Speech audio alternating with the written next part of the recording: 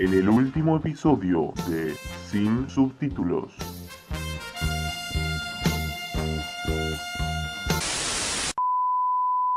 ¿Cuáles son las preguntas que la gente más le hace a Google?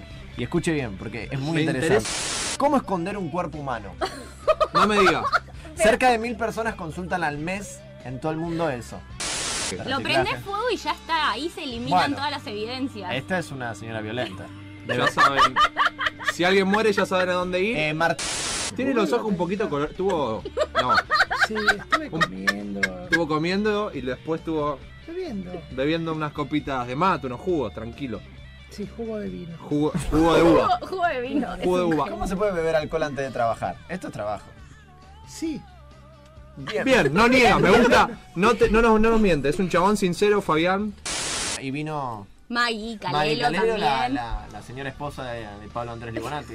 Ah, lo mandaste sopre hermosamente. Lo prendiste Que no está- no no Yo cuando voy a un restaurante, Sí. esto te lo digo así mientras estamos charlando, la gente mientras sí, no, no escucha. pasa nada. Pido la, una milanesa con frita, eso me da la pauta de decir el restaurante primero. Si es caro y si es bueno. Si la milanga está buena, es que es todo bueno. Si es barata es porque todo es barato. como es como el índice del Big el- Mac, el índice, el el McDonald's. índice milanesa. Es el índice suprema napolitano. napolitana, Exactamente. bien. Si vos sos... La frutilla del postre, ¿sabe quién va a volver a Showmatch? Se vuelve loco. ¿Oriana Junco? No, el oso Arturo. ¡No! ¿Qué me decís de eso? No. Muy bueno que lo sabes. Voy a verlo solo para ver a los Arturo. Gente de mi edad o un poco mayor agarra y quiere que los jóvenes hagan el servicio militar. Es como una revancha hacia la juventud. Ah, O usted dice que viene de ese lado, del lado de yo la tuve que hacer y este pendejo de mierda que hace un programa de Este, radio. este pendejo boludea, está viendo todo el día internet, está tirado en la casa, no estudia, no trabaja. ¿Qué tal Ezequiel Luca? ¿Cómo estás? Hola, buenas noches, ¿cómo están? ¿Cómo es que llegan ustedes a conocer la historia? Bueno, yo su- suelo decir que El otro Maradona es una película sobre el destino y bueno, el, el destino de alguna manera nos cruzó con esta historia. ¿Te costó convencerlo a, a, él para poder filmar la película? Sí, sí, sí, fue difícil. Nosotros también, eh, bueno, con el tiempo le, le fuimos dando a entender que, que nuestra película no estaba pensada, digamos, para colgarse de Maradona ni para ser como, como un nuevo cliché de Maradona, sino que justamente nos interesaba a él como, como persona y como personaje mucho más allá de, de- de la anécdota de, de los cebollitos. programa viene bien, viene saliendo fluido. Bien, bien. Así que bueno, es un programa porrero, diría. Pero no, esas no, cosas- no, no, no, no, no. Me niego Me rotundamente niego rotundamente. a los dichos del señor Martínez que... Es, es un programa marihuanero, tal vez. Porrero no. No, Bueno, nosotros no. vamos solo con la planta. ¿Cómo? Tenés- plantás droga. Vos decís que plantás droga. Sos narco. Abril, Cogollos Mil. Di- Y otra de Netflix, la última de Netflix, es. eh, sí. Es eh, que por anunciaron que van a hacer la primera serie hablada en castellano. Bien. Direct- Guarda. Sin su- se puede decir la primera serie sin subtítulos de Netflix. Exacto. Perfecto. un aplauso, por favor. Una boleta vamos a aplaudir. La vengo metiendo, acá salió, eh, salió, la vengo tirando hace un rato. Sí. La ves meti- Bueno. metiendo No, eso no. bastante seguido. No, no. El estreno de la semana, la serie Bad Teacher. No sé si alguna vez vieron la película. No, pero tuve La varias. de Cameron, la de Cameron La de Díaz. Cameron Díaz, Y bastante les dediqué. ¿Cómo? Ah, mirá, Vamos a ver- a ver la película. te apuñalaste vos decís Sí. en ese momento. No, de- sí, me apuñalé porque dije es muy Es buena, es muy claro. buena. Dios mío. Hasta que de Acá repente. nuestro público también dice lo mismo. Bueno, esta serie que. Hablo indio, pero hablo un poco. Bueno, Hernán, ¿cómo estás? Buenas noches. La película, puntualmente, ¿qué, qué es lo que cuenta? ¿Qué es lo que narra? Eh, básicamente es Gastón Pols, que es un psiquiatra que llega a un hospital público a donde mm, empieza a ver a los pacientes, le llama la atención uno de los pacientes que es Héctor Alterio, que parece que habla de forma totalmente Claro. eh, Rara, que poco- nadie le entiende. Rara, poco coherente. Y él se da cuenta por, por algo que pasa de que en realidad no es que, si bien habla medio incoherente, digamos, tiene coherencia dentro de su lógica, pues se expresa a través de tangos. No, tengo, tengo amigos críticos, este sí tengo un amigo judío. Sí, Capitán América y el Soldado del Invierno sí esa. siguen en el puesto ¿En qué número sala 6 está? con un acumulado de El 770 mil productor- El personas. productor dice que no, mala, mala, mala. Es ma- ¿Usted era a favor del productor? ¿Y le gustó? No? O sea, sos uno de los apenas 770 mil boludos que la fueron a ver. Uno de los 770.000 boludos. Bien. O sea, ¿por qué Si es no? verdad, es grave. Si es mentira, también es grave. Sí, coincidimos, en esta vez. Coincidimos, Edu. Bien, bienvenidos a todos, bien bienvenidos. Arranqué joya. Atención, usted está entrando en la frontera con el cine, el destino final de la semana. Le solicitamos mantenga encendido su celular y le recordamos que los conductores tienen derecho a permanecer callados. Todo lo que digan será usado en su contra. Le damos la bienvenida a Sin Subtítulos, tercera temporada.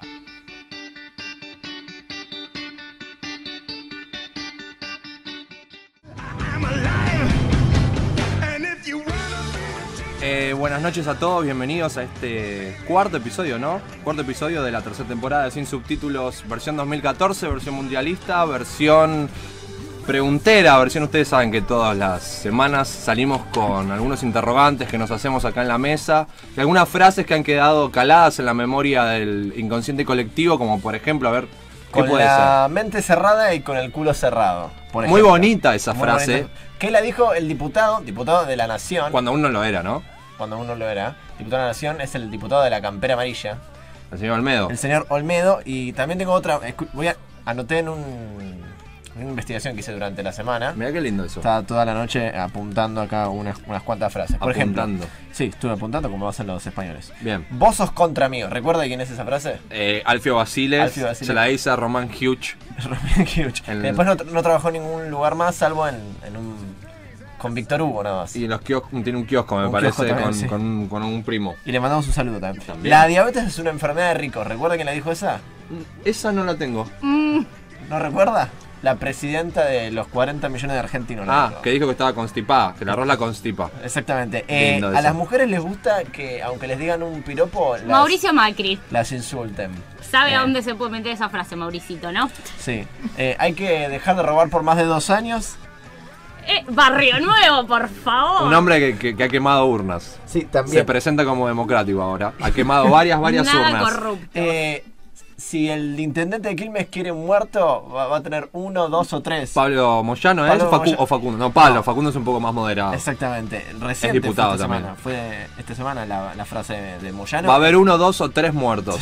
Es como que una- un vaticinio como del día. Va- la temperatura va a subir, va a haber dos o tres muertos. Esta es muy buena. A Torresani le dije en la cancha que vivo en Segurola y Habana 4 4310. El Diego. Séptimo piso y vamos a ver si me dura más de 30 segundos.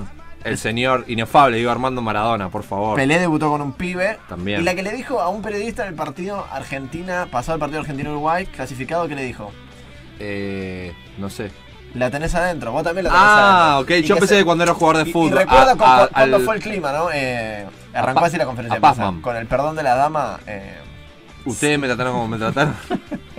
sigan chupando. Bueno, y le decimos a nuestros oyentes que no, si quieren seguir chupando, sigan, pero mientras pueden escuchar este programa, que se llama Sin Subtítulos, que tiene varias plataformas mediante las cuales usted puede eh, intercambiar información, dialogar, comunicarse, informarse. Por ejemplo- por ejemplo, eh, la plataforma de Facebook, Que es eh, sin subtítulos dos temporadas. Está el Twitter también. o buscan sin subtítulos ahí en la, es en la- mucho más fácil. en la barra para buscar personas, cosas, grupos, viste, cada vez está como más abarcativo el Facebook. Cosas, ¿Qué es- delincuentes. ¿Qué es esto de, la- de las páginas de me andan diciendo? Que han brotado Pro- con, una, proliferaron con una y velocidad. Qué raro, ¿no? los billetes andan diciendo. Que el Facebook apuntaba a una plataforma sostenida por la imagen y de repente surgen estas páginas que Sí. apuntan a lo que es A lo que la es el- palabra, lo dicho, lo Pero, mencionado. sin embargo, está reforzado siempre por imágenes. ¿Qué hacen las empresas cuando buscan community manager? Una imagen y le cambian Sí, sí, la, tipografía. Pero ¿qué hacen las empresas cuando buscan community manager? Que sea o sepa manejar. eh, y tome, tome la eso. guarangada Sí, pero que sepa manejar eh, los programas de, de edición. de edición, de edición de imagen. Entonces siempre ahí. Che, no se puede usar el celular. No, chicos, por favor. Bien, entonces. Yo lo puse en modo avión, no sé por qué me están llegando los. Ah, pues no es mío. Porque es el wifi, papi. Claro. Eh, No, no, no tengo wifi. Bien, ya le dije sin subtítulos por el Facebook, también por el Twitter es arroba sin subradio. Sí. Pueden fabiarnos, mencionarnos, eh, Arrobarnos. arrobarnos, followearnos, followbackearnos. Sí, y bueno. ¿qué más? Cuidado, con el follow hackear porque. Hashtag, hashtag sin subtítulos. Claro, estaría bueno que. Hashtag noche de radio. Hashtag y así podemos seguir. Hashtag tengo un grano acá que me está matando. Sí. No, en serio lo digo. Esto fuera de joda me estoy tocando, pero no queda muy bien. Además tenemos una página de internet que es como una especie de nuestra Biblia, ¿no? Es el lugar donde concentramos todos nuestros pensamientos. Sí, sin subtítulos.com.ar, ahí se pueden encontrar noticias, estrenos, eh, columnas. Recomendados. Recomendados. Eh, Los estrenos de la semana, lo dijo sí. estrenos, que usted lo va a decir hoy, ¿no? Los Están- Le dieron como tres minutos el guion. Los- Estaba viendo, tenía mucho tiempo para hacer los estrenos. Bueno. Le gusta mucho la columna al productor, ¿se Sí, nota? sí, se nota, es una, una buena persona. Le mandamos un saludo que nos está produciendo nuevamente. Junto, quiere decirle usted que lo dice siempre. Que nos presento, nos, por si Sí. es la primera vez que nos escuchan, por si no nos conocen, por si quieren saber quiénes somos detrás de estas voces, eh, nos conducen Matías Zanetti y Juan Catriel Mirabelli. Yo soy Liro Lainusiforo en la co-conducción, en la producción Pablo Libonati y Daniela Salinas, y Nati en la operación al aire. Técnico táctica. También sería. tenemos a nuestros columnistas que hoy vuelve Daniel. ¿Cómo, cómo fue este, estas vacaciones de 15 días que te has tomado? Bien, bien, muy Ah, bueno. Por suerte. Daniel Capelletti, que es el señor que hace la columna, La columna transversal. Claro, la que, rara. que nos, rara. nos haces quedar mal parados, viene con camisa, que viene con la computadora, nosotros tenemos los papeles, la Yo lapicera. la remera estoy usando del martes. Claro, no, este- que viene, viene con la Matías Camisani. Nosotros no tenemos internet y él tiene internet en la computadora, ¿cómo puede ser? Hay una No, no me dio una clave de wifi. Bueno, Ah, ¿cuál es la clave del wifi, Nati? Sí, yo también la necesito. Ah. Bien, ahora Ah, todo el mundo sabe la contraseña. Si quieren venir a afanar wifi a la puerta, Arbolito, no te- arbol- ¿qué? arbolito, ¿por qué será? No tengo idea. Ah, Pero vamos a preguntarle a Nati cómo pero fue puede la... estar relacionado con. ¿Con qué? cierta La marihuana. verde. Cierta sustancia. Ah, Bien. Perfecto. Vamos a sí. preguntarle cómo fue la semana de, de Nati sin operar, sin subtítulos. O sea, siete días sin operar. ¿Cómo se siente? Estuvo, fue, fue difícil, fue difícil y esperé los días y no pasaba, pasaba días muy largos. Se te notaba porque estabas con muchas ganas cuando, no- cuando nos atendiste en la puerta. Estabas muy despierta. Chicos, eso se debió a otra cosa. ¿A qué se debe? ¿A qué se debe? No, chicos, eh, ayer salí y no dormí y estoy muerta. Se está tomando, hablando de. ¿Dónde fue? Estás tomando una Sindor. Sí, fuera de está joda. tomando Y una además Sindor. estás sin dormir, Nati. Claro. ¿no? Las dos cosas se dan. Es como la bebida justa para cuando no dormís tenés una resaca ¿Puedo preciosa. preguntarle dónde fue, ya que tenemos tiempo? ¿A Nati? Sí. ¿Querés, que- ¿Querés que cortemos el programa y se queden charlando? Y estaría bueno. ¿Dónde fuiste, Nati, que te quedaste una noche sin dormir, viniste a trabajar? ¿Qué onda? Fui a Godoy eh, ¿A Godoy en San Cruz? Ah, Isidro. ¿lo fuiste a Godoy en dónde? En San Isidro. Ay, perdón. Disculpame. Se fue a San Isidro. Disculpa que nosotros no estamos con eso. ¿Del lado de Maipú o del lado de Panamericana? ¿Cómo es? Claro. ¿Qué dicen en San Isidro? No, eh, del lado de Maipú, por Ahí está. Bueno. ¿Querés seguir? No, no, yo estoy bien. ¿Sabes que estaba leyendo la revista de directores que nos mandaron esta semana la Asociación de Directores? Mirá la contrata porque es linda que Sí, es de directores. ¿Eh? ¿Qué Los pasó ahí? Directores argentinos cinematográficos que nos mandaron 10 revistitas para poder leer tranquilamente. Acá las estábamos leyendo. ¿Y cuál es el artículo principal? El A ver. desequilibrio que hay en el, en el cine. Porque hay, Hay una brecha como en la sociedad argentina. La grieta. La grieta. llamado, eh, por la data, la grieta. Diferencia, dice cine nacional polarizado, muy pocas películas de alto costo y más de 100 anuales con bajo presupuesto. ¿Qué es lo que pasa normalmente? Las películas que se estrenan durante la semana son dos, una o dos películas que generalmente tienen un bajo presupuesto hasta que vienen películas como Betty Boo, El secreto de sus ojos y otros menesteres que ahora no me podré... Séptimo, todas las películas que vienen con Darín adosado. Es como Claro. un archivo adjunto, Darín, que viene en la película y vos necesitas abrirlo para entender. Que te mete como cuántos, cuántos espectadores. Palo y medio, palito te mete. Bueno, claro, unos 100.000, ponele. Sí, las, las También. películas pierden entidad, pasan a ser la nueva de Darín. Claro. Es como la- las de Woody Allen. Nadie sabe Claro. los nombres. ¿Viste la última de Woody Allen? No- no- Es verdad. Nadie se acuerda los, los nombres, ¿no? Pero Woody Allen mete una por año, así que como viste la nueva es, es la frase del año. Está Que facturando. justo, justo estrena una película eh, durante el día. eh, ayer estrenó una película, pero no es el, el director, sino que es el actor. El director es John Tuturro, así se llama. ¿Cómo se llama? John Tuturro. Es como Turro, pero. Como gat- primo de Gaturro se Guachiturro. podría decir. Claro, como el primo. Además, tenemos un teléfono si se quieren comunicar. Exactamente. 4382-4368. Seguimos sin recibir llamados. No hemos recibido llamados en esta es- nueva casa. Por ahí alguien se quiere averiguar y nos pega un llamadito, sale al aire. Estás insistente con que te desvirguen de manera ¿Cómo? telefónica. No, porque todo el tiempo dice que, me- que llamen, que llamen. Está todo el tiempo pidiendo la, Bueno. la desvirgada telefónica. Que ¿Por qué constaría de no? un llamado. ¿Por qué no? Llamen Sí. por teléfono, chicos. Sí, y tenemos dos entrevistas durante el día de hoy. Una con Martín Piroyaski, que nos va a estar hablando de la serie Tiempo Libre. Esta serie que cuenta un poco las peripecias de un actor que hace en su tiempo que está al pedo. Viste que los actores no es que están trabajando. En una, en una tira y se meten en otra tira. Es lo que una- se llama trabajo freelance, que también lo tienen algunas otras carreras, Claro. este, que son trabajos, digamos, eh, eh, momen- de momento o con... eh, Bueno, freelance no es para tanto, porque están como un poquito más de. un poco más cargados a nivel contrato, ¿no? ¿Quiénes? Y los, Los- actorcitos. los actores. Sí, depende. A lo que me refiero es que es un trabajo que vos sabes cuándo comienza y cuándo Claro, termina. claro, claro, totalmente. Y después vamos a estar entrevistando a también a Martín, pero en este caso Martín es algo que es el director del Día Trajo la Oscuridad, el estreno argentino de la semana que no se estrenó en tantas salas, por eso no fue anunciado en nuestra página que le pedimos disculpas, lo vamos a rectificar brevemente.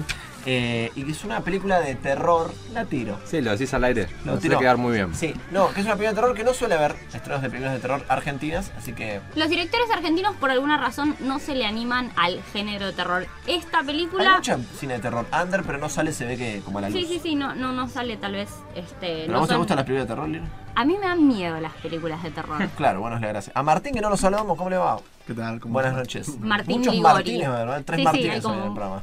Proliferación de Martínez. Sí, atacan, atacamos. ¿Cómo fue la semana? Tranquila. Yo le pregunté qué hace con buzo acá adentro, Martín. ¿No Sí. tiene ¿No calor? tenés calor? Hace- un calor de la San P, ¿no? Sí. Diría tu tío. Sí, sí. Y porque el libro no nos deja prender el aire por el tema del. Ahora de en el- que, el de cor- que le da. de que le Me da da de lleno el aire. Y bueno, habrá que cambiar el lugar. O despedirla al Liro.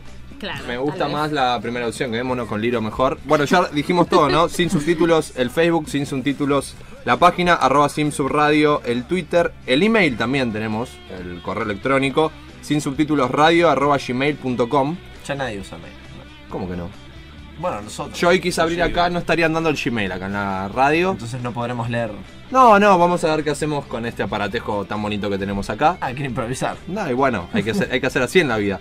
Eh, ¿Qué otra frase tenías? ¿Tenés una frase más? ¿No tenés más? ¿No tenés otra del Diegote? Estaban muy buenas. No, la del Diego es. Eh, Grondona me mintió. Bilardo me traicionó. Sí.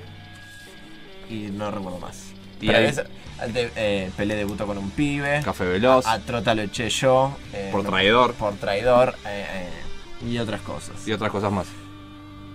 No, no, está bien. Estábamos charlando. Tranquilo. No, no, te- tenía solo esta. No, me llama mucho la atención que vamos a estar entregando esta revista eh, a Directores. los- A los, directores y también tenemos entradas para el sorteo de Gato Negro que mucha gente Exactamente, participó. tenemos entradas que vamos a estar sorteando para la función de las 11 de la noche mañana en el Abasto. Las la- tienen que pasar a retirar por, por acá por la radio y las vamos a estar es sorteando. 242 planta baja B. No, no, Gorriti no. Gor- Cer- eh, Cerrito. bueno, yo. eh, Chau. Se retira. ¿Querés ir un rato? Y eh, para participar tienen que compartir la imagen que eh, nosotros posteamos en nuestro, en nuestro perfil, en nuestra página de Facebook. Esta, esta semana fue como cortita. Cortita de lunes. de Otra lunes- vez. Sí, de lunes. Porque venía a ser cortita la Semana Santa, ¿no? Claro, de, de- lunes a miércoles y, y implica como. Tal vez nos podemos ir. ¿Qué les, qué les parece si nos vamos ahora? ¿A dónde? Y nos vamos. No. ¿Ya te querés ir? No, yo decía si nos vamos a algún lugar después. Nos vamos, nos tomamos estos dos días. Ah, vamos a reflexionar. Y vamos- Claro. ¿Te no, querés podemos llevar ir un. al cabaret. ¿Cómo? Al, en una localidad que se llama cabaret. Ah, sí, es verdad. No, nos vamos. Usted recuerda, Menovera, esa la tenía que haber puesto. Un cabaret es un lugar donde uno va a tomar una copa. No se acuerda usted del conflicto con No. la torre. Bueno, no importa. no importa. ¿Quiere, quiere que vayamos a las noticias? Vamos Mejor. a las noticias, Saquémonos de acá. porque Sí. sí, por Vamos. favor.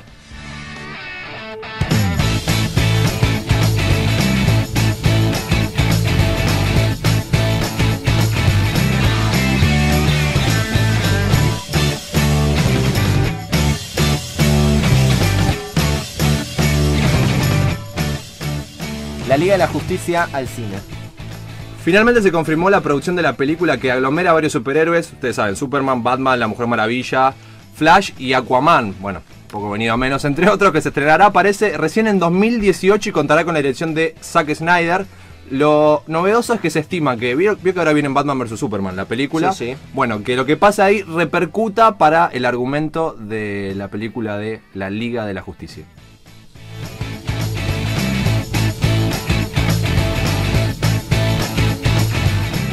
...12 años de filmación. Escuche bien porque esto es bastante curioso. La película Bollywood, que. Boyhood, mejor dicho. Bollywood, que- venga, claro. Bollywood no, porque Bollywood es el cine Es en otro- nigeriano. Qué lindo lo que decís. Boyhood sería. Claro, que en realidad es una película un tanto curiosa porque es un chico que se lo filmó desde pequeño hasta los 12 años y recibió. No, desde, desde los 6 a los 18. desde los no sé, 6 12 años. Eh, bueno, muchísimas gracias. nos no, no, te podés quedarte, te podés quedar, no hay problema. Recibió muchas críticas positivas entre porque. No solo por la duración del rodaje en sí, sino también porque utiliza el mismo elenco a lo largo de todo ese periodo. Eller Salman es el niño que se sometió a la extensa filmación de esa película que narra la historia de dos padres que se divorcian. Sí. La historia sigue al muchacho, como dijo usted, de los 12 años Es decir, hasta el primer grado de la universidad y examina la relación que tiene con sus padres mientras crece. Incluso. O sea, 12 años estuvieron grabando la película, eso sí, quiere y decir. la muchachita que hace de la madre está bastante Eh, buena. bueno, después- bien, sí.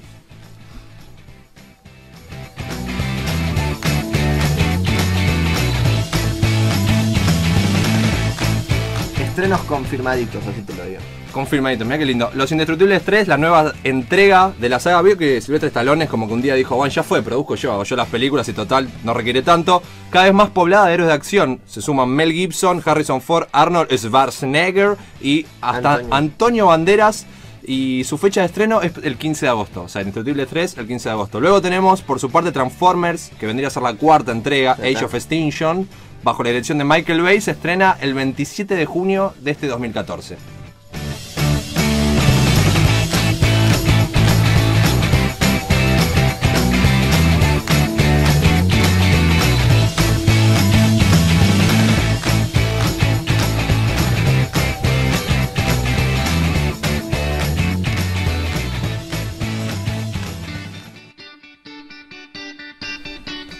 Qué difícil se hace a veces pronunciar ciertos nombres. Es Boyhood. Boyhood. ¿Por Claro, como- Boyhood? No, porque Bollywood es el nombre del cine. Creo que es nigeriano. No, no, el cine indio. Al cine. No, es, eso es. Perdón. Porque se hace, se hace en Mumbai. Bolly- claro. Perdón. No, está bien. No, no, hay uno igual en Creo que te quería Hay decir uno- igual. No, no, hay un nombre, hay un nombre del cine nigeriano también, pero es muy parecido. que habían contratado a Wesley Snipes. Sí, sí, totalmente, totalmente. Bueno, una, una última noticia también es que se confirmó el estreno de. El estreno, perdón, el elenco de la película Star Wars Episodio 7. Sí, yo hago una fotito. incluso. Una fotito. Son muchísimos nombres que no vamos a pronunciar, obviamente. Van a estar Sí. en la página, seguramente saliendo por estos días. Si lo quieren ver, estas noticias y más las pueden ver en sinsubtítulos.com.ar. Sí, Y exactamente. Hubo una foto donde estaba todo el elenco como charlando en ronda en varios sillones y estaba, y lo curioso es que no estaba nada armada la foto, ¿no? No. Estaba Arturito atrás en, como metido en una especie de armario medio cerrado. Bien. Bueno, eh, sabe que yo también tengo noticias, no me quiero quedar atrás. Y como me gusta mucho la comedia musical, Vaselina is back. Usted sabe que- quién es Vaselina, ¿no? eh, es algo que te pones Gris, para. la película. No, Gris Vasel- de John Travolta con Olivia Newton-John. Por eso, Vaselina. Sí. Que acá se tradujo con el nombre de Vaselina. Bien. Eh, esta, esta recordada película que se hizo en el 78, pero que remitía a la década del 50, protagonizada por Olivia Newton y John Travolta, que Mm. vuelve otra vez, sí, vuelve otra vez, pero va a resultar en el 2015 para la televisión. Que a su vez, eh, este famoso musical, en realidad empezó como un musical, después se pasó a película y a partir de eso fue el éxito, que bueno, lo protagonizaron estos dos actores que habíamos dicho, y va a volver en una versión como televisiva, pero de tres horas. No va a ser una serie. No es que va a ser una serie que va a durar tres capítulos, una hora cada uno. Sino que va a durar por única vez. Va a ser un musical que lo va a producir Fox y va a durar tres horitas. Todo junto sale. Todo junto va a salir. Y bueno, Es como con la una vaselina peli- sale más barato. una peli para- Sale más rápido. Qué linda es. Una peli para, para la tele, digamos. Claro, claro, podría ser. Una reversión para la tele. Escuche lo que dijo la vicepresidenta de Fox, esto que es muy interesante. Desde el Broadway hasta la película de largo de generaciones, Gris es uno de los musicales más queridos y no podemos esperar traerla a nuestra atmósfera en un espectacular evento en vivo. Sus Y icónicos- la guitarra que se lleva, ¿no? Sus También. icónicos personajes y canciones adictivas hacen que encaje en Fox a la perfección, por eso. Con vaselina, encaja mejor, claro. Buen encaje. A la perfección. Y yo solo estoy I'm losing control con esta eh, noticia porque me pone muy bien. Después murió Bob Hawkins. Usted sabe quién es Bob Hawkins. Era el protagonista de Roger Rabbit, que mató a Roger Rabbit, que fue como una de las primeras películas que se hizo con Animación. animación y personas reales. La dirigió Robert Zemeckis. Él murió Bob Hawkins. Mire, miren todas las personas que murieron este año. A ver. Norma Pons, Uh, Ricardo Ford. Jorge Ibáñez. el No, Ricardo fue el Nazarena- año pasado. Bueno, el marido de Nazarena Vélez, Sí. Mandela, Paul Walker, Alfredo Alcón y hoy y murió Bob Hawkins. Y bueno, sí, la gente muere. Bob Hawkins que también hizo la primera Mona Lisa, que eso le hizo ganar el Globo de Oro y el premio al mejor actor del Festival de Cannes. Bien, Bien. metió ahí a partir de esa película. Y estuvo en la primera con, con papeles secundarios Hook, ¿usted sabe cuál es? La de Steven Spielberg, que Robbie Williams era un Peter Pan como anciano, más grande. ¿Ah, sí? Sí, una cosa horrible. Y después tuvo Bien. Super- fue el protagonista de Super Mario Bros. Que la gente no sabe. ¿Hubo no película de. Super Mario Bros? Sí, sí, en la, No lo puedo creer. En 1993 era extre- A ver, Martín, usted que es un geek, puede, puede tal vez profundizar un poco que era una, una cuestión horripilante la Sí, película. era una película realmente horrible que no sé por qué se intentó hacer de forma realista, por llamarlo de alguna Sí, sí, manera, una un ambiente que era tan delirante y una cosa que era tan cartoony, digamos. Sí. Y bueno, el resultado fue desastroso realmente. Sí, adelantando un poco del programa, era un poco de realismo mágico que un plomero vaya a rescatar una. Una princ- a una italiano. Totalmente, totalmente. Bueno, ¿quién engañó a Roger Rabbit? También tiene un poco de realismo. Sí, mágico. totalmente. Y, y de- ahora lo vamos a analizar un poco mejor ese tema. Bien, bien, ya, ya que estamos, metemos un, un poquito ahí. Incluso dirigió dos películas que era eh, de Rashid, de Rashidi Rowney. Bien. Así te lo digo. Y Rainbow, que en 1996. Y se retiró en el 2011 porque tenía Parkinson y ahora murió de una neumonía. O sea, las tenía todas, pobre. Bien, yo le cuento mientras. Mientras, eh, acá el productor me está apurando por. Le mando le un, sa- saludo muy afectuoso al Dígalo productor. Eh, parece que levantan del aire, ¿sabe qué programa? No. Uno que cuesta mucho levantarlo. Cuestión de peso. Lo le- Aunque el Tano Pasma no lo pueda creer, que River se fue a la B y volvió. Y además, levantan el programa porque no estaba rindiendo la tarde, le pusieron enfrente Avenida Brasil. Bien. Entonces le Claro. empezó a ir mal. Lo pasaron a las 11.45 de la mañana, un gran horario le dieron. Sí, sí. ¿Y sacaron al? Sacaron al zorro, que No. es como la investidura de lo que es el mediodía de Canal 13. sí, con- sí, sí, sí. Nuestro productor es No. fanático, porque es un tipo que está Mi, todo el tiempo abue- mi ocupado. abuelo es fanático del zorro, se las lo mira todo el tiempo y lo vuelve a ver y lo vuelve a ver, ¿no? No, es magnífico. Es una adicción. Guy Williams Forever. Bien. Bien. Bien, se escucha una voz como medio de Darth Vader, ¿no? Del más allá se escucha una voz. ¿Puede ser que te hayan montado? ¿Cómo? No, bueno, parece que no cayó muy bien porque Claribel No, Medina le dijeron, che, vamos a levantar el programa, no digas nada, lo dijo al aire. O sea, no, medio que no se comió ninguna. Ah, bueno. Directamente parece que le avisaron, eh, querían esperar hasta que termine la emisión del miércoles para avisarles a todos. Pero Claribel Medina, la única que sabía, lo contó al aire y los panelistas se sorprendieron. No les cayó muy bien la noticia, obviamente. Claro. Pero el doctor Camilló dice, el balance que hago es bueno. No creo que el cambio de horario haya afectado el resultado. Con respecto a qué pasó ayer, me pregunto si no hubiera sido más apropiado preparar a los participantes para el final. O sea, toda la gente eso eh, los dejan de ayudar, no sé bien No, cómo no. terminará. Aparentemente lo siguen ayudando desde la clínica. Que, bueno, Pero no sale más por, no se vende no más. sale más Claro. por televisión. Bueno, también era un sufrimiento. Capaz es mejor para ellos. Porque viste que los hacían hacer de todo. Habían hecho cuestiones. Convengamos que es un programa así totalmente crudo. Es un programa donde la gente lleva una remera que dice cuánto pesa. Sí, sí, Eso sí. es un mensaje ya muy fuerte. De alguna manera Sí, está marcando, sí, sí. ¿no? Un, un- un- delimitando un territorio que Sí, sí, es Muy fuerte. ¿no? Un- el cuerpo de una persona. Bueno, parece que después de, desde el 2006 estaba. Sí, con diferentes conductores. Tuvo digamos, Ana- Anaí.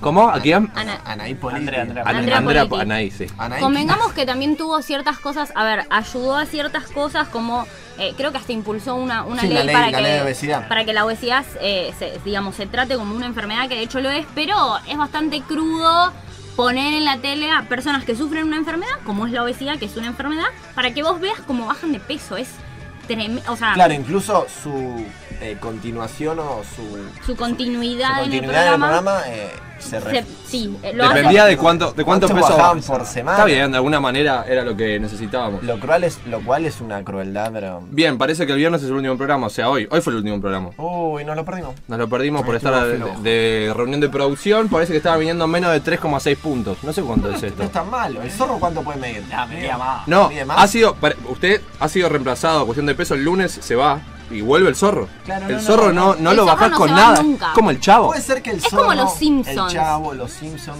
sean programas que estén para toda Casados la vida. con hijos. Casados con hijos. Una Pero repetición. yo creo que Casados con hijos en algún momento va a empezar a agotar. Yo igual hoy pensaba que Florencia Peña cuando muera de acá un montón de años se va a seguir pasando casados con hijos. Y puede ser. Y a Francia Peña le has dedicado algunos No, momentos no. para ver Casados con hijos. Sí, mucho. Hoy estaba viéndolo justamente. También. ¿No es cierto? Bueno, tenemos los recomendados del Hiro. Eh, vamos a la tanda, que el productor que irse a la tanda tiene que vender un chivito y volvemos y lo decimos. Perfecto. Sin subtítulos, escena 1, plano 2, temporada 3.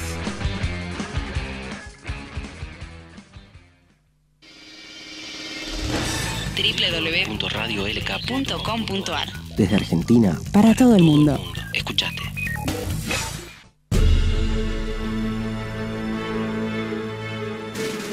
Las últimas palabras de la semana las trae Daniel. Llega la columna transversal.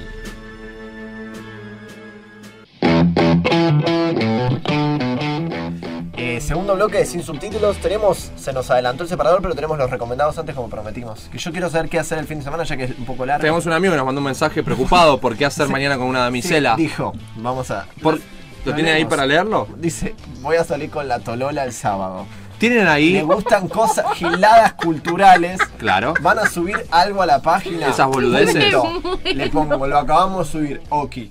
Y eso Bien. fue toda la conversación. Muy linda, muy amena. Queremos saber Bueno. entonces si los.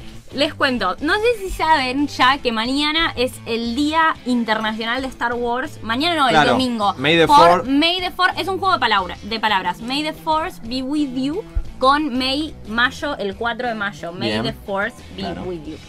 Eh, por, por- por- con motivo de este festejo Sí. se realizan varias cosas. Ya hace un tiempo los anuncia- lo anunciamos también en los recomendados. Una carrera en el hipódromo de San Isidro donde invitaban a la gente a ir disfrazados. Este, que se iba a hacer mañana a la noche. Y el shopping, los cines Hoyts del shopping Abasto van a estar realizando una maratón con las seis películas de Star Wars. Eh, se van a estar, bueno. sí, se van a public- se van a proyectar desde mañana hasta el miércoles 7. Perdón, la proyección ya empezó hoy hasta eh, el miércoles 7. Es la primera vez que se proyectan en el país este, los seis episodios de manera continuada. eh, y se van a proyectar en formato 2D con subtítulos. La entrada general es como para ir a ver cualquier película, 70 pesos, así que para los fanáticos de Star Wars ya saben. Hasta el 7 de mayo también se va a realizar el Festival Internacional de Poesía de Buenos Aires, que va a estar enmarcado en eh, lo que es la Feria Internacional del Libro y que va a recibir varios poetas nacionales e internacionales. Populares. Y en total va a estar visitando, digamos, este festival, van a estar visitando este festival 17 países, con, digamos, representados por sus respectivos poetas. Eh, los primeros, eh, hay países que participan por primera vez, eh, como India, Sudáfrica, Croacia y Costa Rica. Así que a todos aquellos que están, digamos, interesados en esto, métanse en nuestra página, ahí tenemos un poco más de información, está más explayada la cuestión con el link directo para la página del festival. Y por último, mañana a la noche en la Usina del Arte se va a proyectar a las 8 y media de la noche El Gabinete del Doctor Caligari, esta película del año 1920, con música en vivo realizada por Fernando Kawasaki y The National Film Chamber Orchestra. ¿Por qué un Eh, nombre tan difícil? ¿Por qué no se ponen los guachines de la no lo sé, pero me los parece... guachis Teatro Hoppenbaum. No lo sé, pero me parece que es un plan eh, súper interesante ir a ver una película clásica como es El Gabinete del Doctor Caligari, musicalizada en vivo. Sí, esas sí, eso es buenísimo. No, no, bueno. no, no suelen suceder hoy en día. Y después a las 10 de la noche, digamos, es un continuado y va a estar presentándose el DJ El G, que trae nuevos ¿Cómo? sonidos. ¿Cómo? El G se llama. O sea, LG, No, el de él, letra G. claro, G. una persona que El G, tiene- el que- G Chevara. que tiene Claro. problemas sexuales. Eh, que trae, digamos, unos sonidos electrónicos mezclados con cumbia, reggaetón y folclórico andino. La entrada, como siempre, en la usina del arte, o la mayoría de las veces, es libre y gratuita en este caso. Y en la TV tenemos varios recomendados para mañana. A ver. A la tarde, a las 6 y cuarto de la tarde, Telefe va a poner al aire, sí señor, esta comedia con Jim Carrey y Ah. Zoe Deschanel. Con mi ex. Muy buena, muy buena. Sí, Y señor. después, a las 8 de la noche, vamos a poder ver por Isaac Invictus esta, este- esta película semi, tal vez biográfica, que cuenta un poco De Nelson Mandela, de. Nelson Mandela. En realidad cuenta cómo, cómo Sudáfrica gana por primera vez eh, el, el Mundial de Rugby. Y bueno, Ser la está- sede del Mundial de Rugby. Exactamente. Que es un deporte como, ¿no? De blanco, de digamos. blancos. Y está también, y bueno, cuentan, digamos, cómo Mandela influyó en esto y cómo los, cómo los ayudó y cuentan bastante de la historia de, de Mandela. Sí. A las 12 menos 5 de la noche, eh, por TCM vamos a poder ver Pandillas de Nueva York. Bravo, gran película. Y el domingo a las 8 van a estar pasando por FX Store. Y a las 10 de la noche un clásico argentino como es Caballos Salvajes por el canal Volver. Esta es la, la película que dice. No. ¿Es, La- ¿es esta o es la plata puta quemada? que vale No, la es pena esta, estar es esta, vivo. La puta que Sí, vale la pena sí, estar sí. vivo. La que está. Héctor Alterio Héctor que, Alterio y Leonardo que Esbaraglia. actúa en Fermín. La semana pasada tuvimos ¿Metiste el chivas? entrevista con el director de Fermín. Si le quieren ver, está en la página Estuviste también. bien, estuviste bien. Que no está mal. No, no. Hernán Fitling. Hernán Findling, algo así era, eh, que hizo la película Fermín. Y nosotros tenemos una columna ahora que se llama Transversal, Ah, ¿cómo le va? a cargo del señor Daniel Capelletti, ¿Cómo va? el señor de camisas. Bien. Estamos Tiene acá camisa haci- acá. haciendo un programa. Estamos tiene camisa también. Tenemos camisa. ¿Qué tenemos? Hoy, hoy pegamos. tengo una compramos el fin de semana, nos metimos, fuimos a Avellaneda. Tengo una de Gibson Les Paul. La guitarra que yo bueno, tengo bien, también. Esa es la- en, el, cua- en el 40 te la compraste. No, en el Más o menos. 44. 44 Con porque la- Farrell de presidente. La tenés puesta hace un tiempito. Bien. Bueno, entonces, ¿de qué nos va a hablar hoy, eh, señor Daniel? Bueno, hoy vamos a hablar un poquito de realismo mágico. ¿no? Bien. Esta columna es un homenaje a Gabriel García Márquez, un poco tardío, ya 15 días. El cuerpo de estar un poco. Bueno, Bueno. metió la Fuera de tibio. Un saludo a- Un saludo, porque el cuerpo de Néstor no estaba en el cajón. Bien, estaba sigamos. No, no, este creo que. Está No, sin ninguna intención de hablar de él en particular, vamos a hablar sobre un género que él ayudó a fundar. Algunos dicen que lo creó, pero otro dice que no, que lo ayudó a fundar. Ya en la década del 20 se habló un poco de realismo mágico, Bien. pero vamos a decir la verdad, en, en los años 60, con 100 años de soledad, eh, lo ha fundado realmente y le ha puesto unas bases eh, muy claras. Autores como Julio Cortázar o Mucho, claro. Miguel Ángel, eh, Miguel Ángel Ast- Asturias, sí, Mm. eh, han sido también creadores o se pueden poner dentro de eso, pero eh, a Márquez le vamos a dar el orgullo de, de hablar de un género que no tardó en pasar a la cinematografía. Eh, algunos dicen como género, otros como subgénero, pero un poco se... Esa discusión que tienen los semiólogos, ¿no? Género, subgénero, no nos sí, metamos a mejor. mitad del siglo XX se pusieron de moda lo que es también los subgéneros y puede ser de las dos cosas. Yo lo puedo tomar una película dramática con realismo mágico como una película realista mágica en sí. Bien. Es en verdad para catalogar películas en un videoclub que ya no existe. Claro, el, el el- el- en 100 años de soledad, por ejemplo, yo me acuerdo una parte muy de realismo mágico que es que hay una chica colgando la ropa y viene va. un viento y se la lleva. Y se la lleva. Y, y- y lo que pasa, que es lo que transmite un poco el libro, a mi entender, ¿no? Es que no pasa nada. Es como. Claro, no hay una no solamente que nadie hay una expresión. En general es una familia que no tiene muchas expresiones, digamos. Los, los buen día es lo creo lo que trata Sí. de retratar el libro, pero. O sea, la tipa está colgando la sábana como que vos estás en tu casa y se, se va volando y nadie, tipo, se da cuenta, che, se fue volando. Bueno, qué sé yo, pasame el mate, no sé, no pasa nada. Hoy te vine a responder eso. Bueno, qué bueno. ¿Hace esto. cuánto lo, lo leíste? Y En las vacaciones fue, me Hace- dejó, que hace- dormías 24 horas y estabas despierto vos. Mirá qué lindo lo que me decís al aire. Me dejaba- no, 6, 7 años, 6, 7, 8 Sí. años serán. Un saludo. Fuerte. Eh, si quieren también saber un poco sobre los autores, pueden leer a Juan Rulfo, a Isabel Allende con La Casa de los Espíritus, un gran Ah. libro, Ambos, una gran película. ambos dos los he leído, son muy buenos. Y Borges, que aunque él mismo se enojaba cuando le decían que hacía realismo mágico, se lo puede catalogar por un par de cuentos en, en lo que es eso. Entonces Ok. vamos a explicar un poco lo que es el realismo mágico. Bien. Esto tiene una particularidad y es que dentro de lo irreal, como bien decías vos, Sí. perdón, dentro de lo real se encuentra la irrealidad. ¿Qué significa? ¿Qué llamamos esto? Su temática de características reales, pero dentro de esas suceden cosas irreales, las cuales sus personajes las toman como si nada, como si fueran cotidianas. Normales. Claro. ¿Por qué? Por ejemplo, un ejemplo, si quieren hablar de películas, es El laberinto del fauno, de Sí. Guillermo del Toro. Claro. Sí. Claro. Eh, acá una niña en medio de la guerra civil española nos, nos muestra un entorno totalmente verídico y una chica encuentra un laberinto fantasioso con un rey al cual supuestamente pertenece y esto lo toma como si nada. O sea, no, no hay una gran sorpresa como eso. Eh, este es un gran punto que necesita lo que es el realismo mágico, que es que los personajes lo tomen como con la naturalidad. Ponele, si nosotros viéramos una película de terror y una persona eh, Mm. encontrar un fantasma, generalmente se asustaría, o sea, Claro. porque lo vería irreal dentro de la película. Ahora, si se encontrara diría, ah, mira un fantasma, sí, como todos los días. Que se pone a charlar, se pega un Claro. pucho. Parte un poco de lo que es la realidad. Bien. Eh, como decíamos, ¿por qué no se lo cataloga como cine fantástico, por ejemplo? Es un buen punto. Eh, eso, eso es lo que, claro, eso es lo que justamente uno no encuentra. ¿Por qué no es fantasía, digamos? Porque tiene anclaje en lo real. Es... No, porque el cine, perdón, capaz puedo responder, pero el cine No, te vas con el celular, no te queríamos interrumpir. El cine fantástico no es, por ejemplo, más un poco sería Harry Potter, esa- lo que es casi. Señor de los Anillos. Claro, Claro. lo que sería fantasía Claro. casi total. A diferencia de lo que es el cine fantástico, eh, El Señor de los Anillos es todo épico, es todo fantástico, hay todo un mundo fantástico. Está construido ya las Claro. tierras, lugares. En esto es, específicamente tiene que tener un anclaje en la realidad, tiene que ser algo real. Acá, como decíamos recién, eh, el entorno donde estaba la película del, del laberinto del fauno era totalmente la guerra civil, un hecho preciso que Sí, pasó con la crudeza Española. que te muestra la película, la cual Concreto. pasó. Y una niña vio un mundo fantástico ahí, el cual al final nunca sabemos si está, si no está, si es imaginario o no, pero ella lo toma como parte de eso. Ahora vamos a hablar un poquito de los personajes en el realismo mágico. A ver, ¿A qué va esto? por ejemplo. no siempre tiene que haber eh, algo tan irreal para hacer realismo mágico. O sea, se puede generar personajes totalmente exacerbados, eh, muy. no parodia, pero muy eh, sátiros en sí, muy, Sí. muy satírico.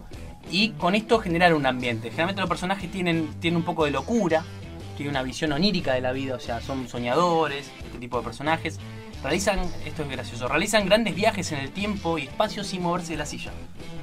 O sea, viajan mentalmente. Claro, la seña usted, el No, famoso- me, hacen atra- me dicen pirulo detrás de cámara. Sí, detrás de, no la sé marihuana podría ser una forma de viajar. Un ¿eh? factor. Bueno. El mismo espacio. Sí, pero sí, sí, la ayahuasca, eso. La ayahuasca también, la ayahuasca qué. ¿Cómo? ¿Cómo? Yo no lo, en Ecuador, yo estuve en Ecuador y no lo pude probar.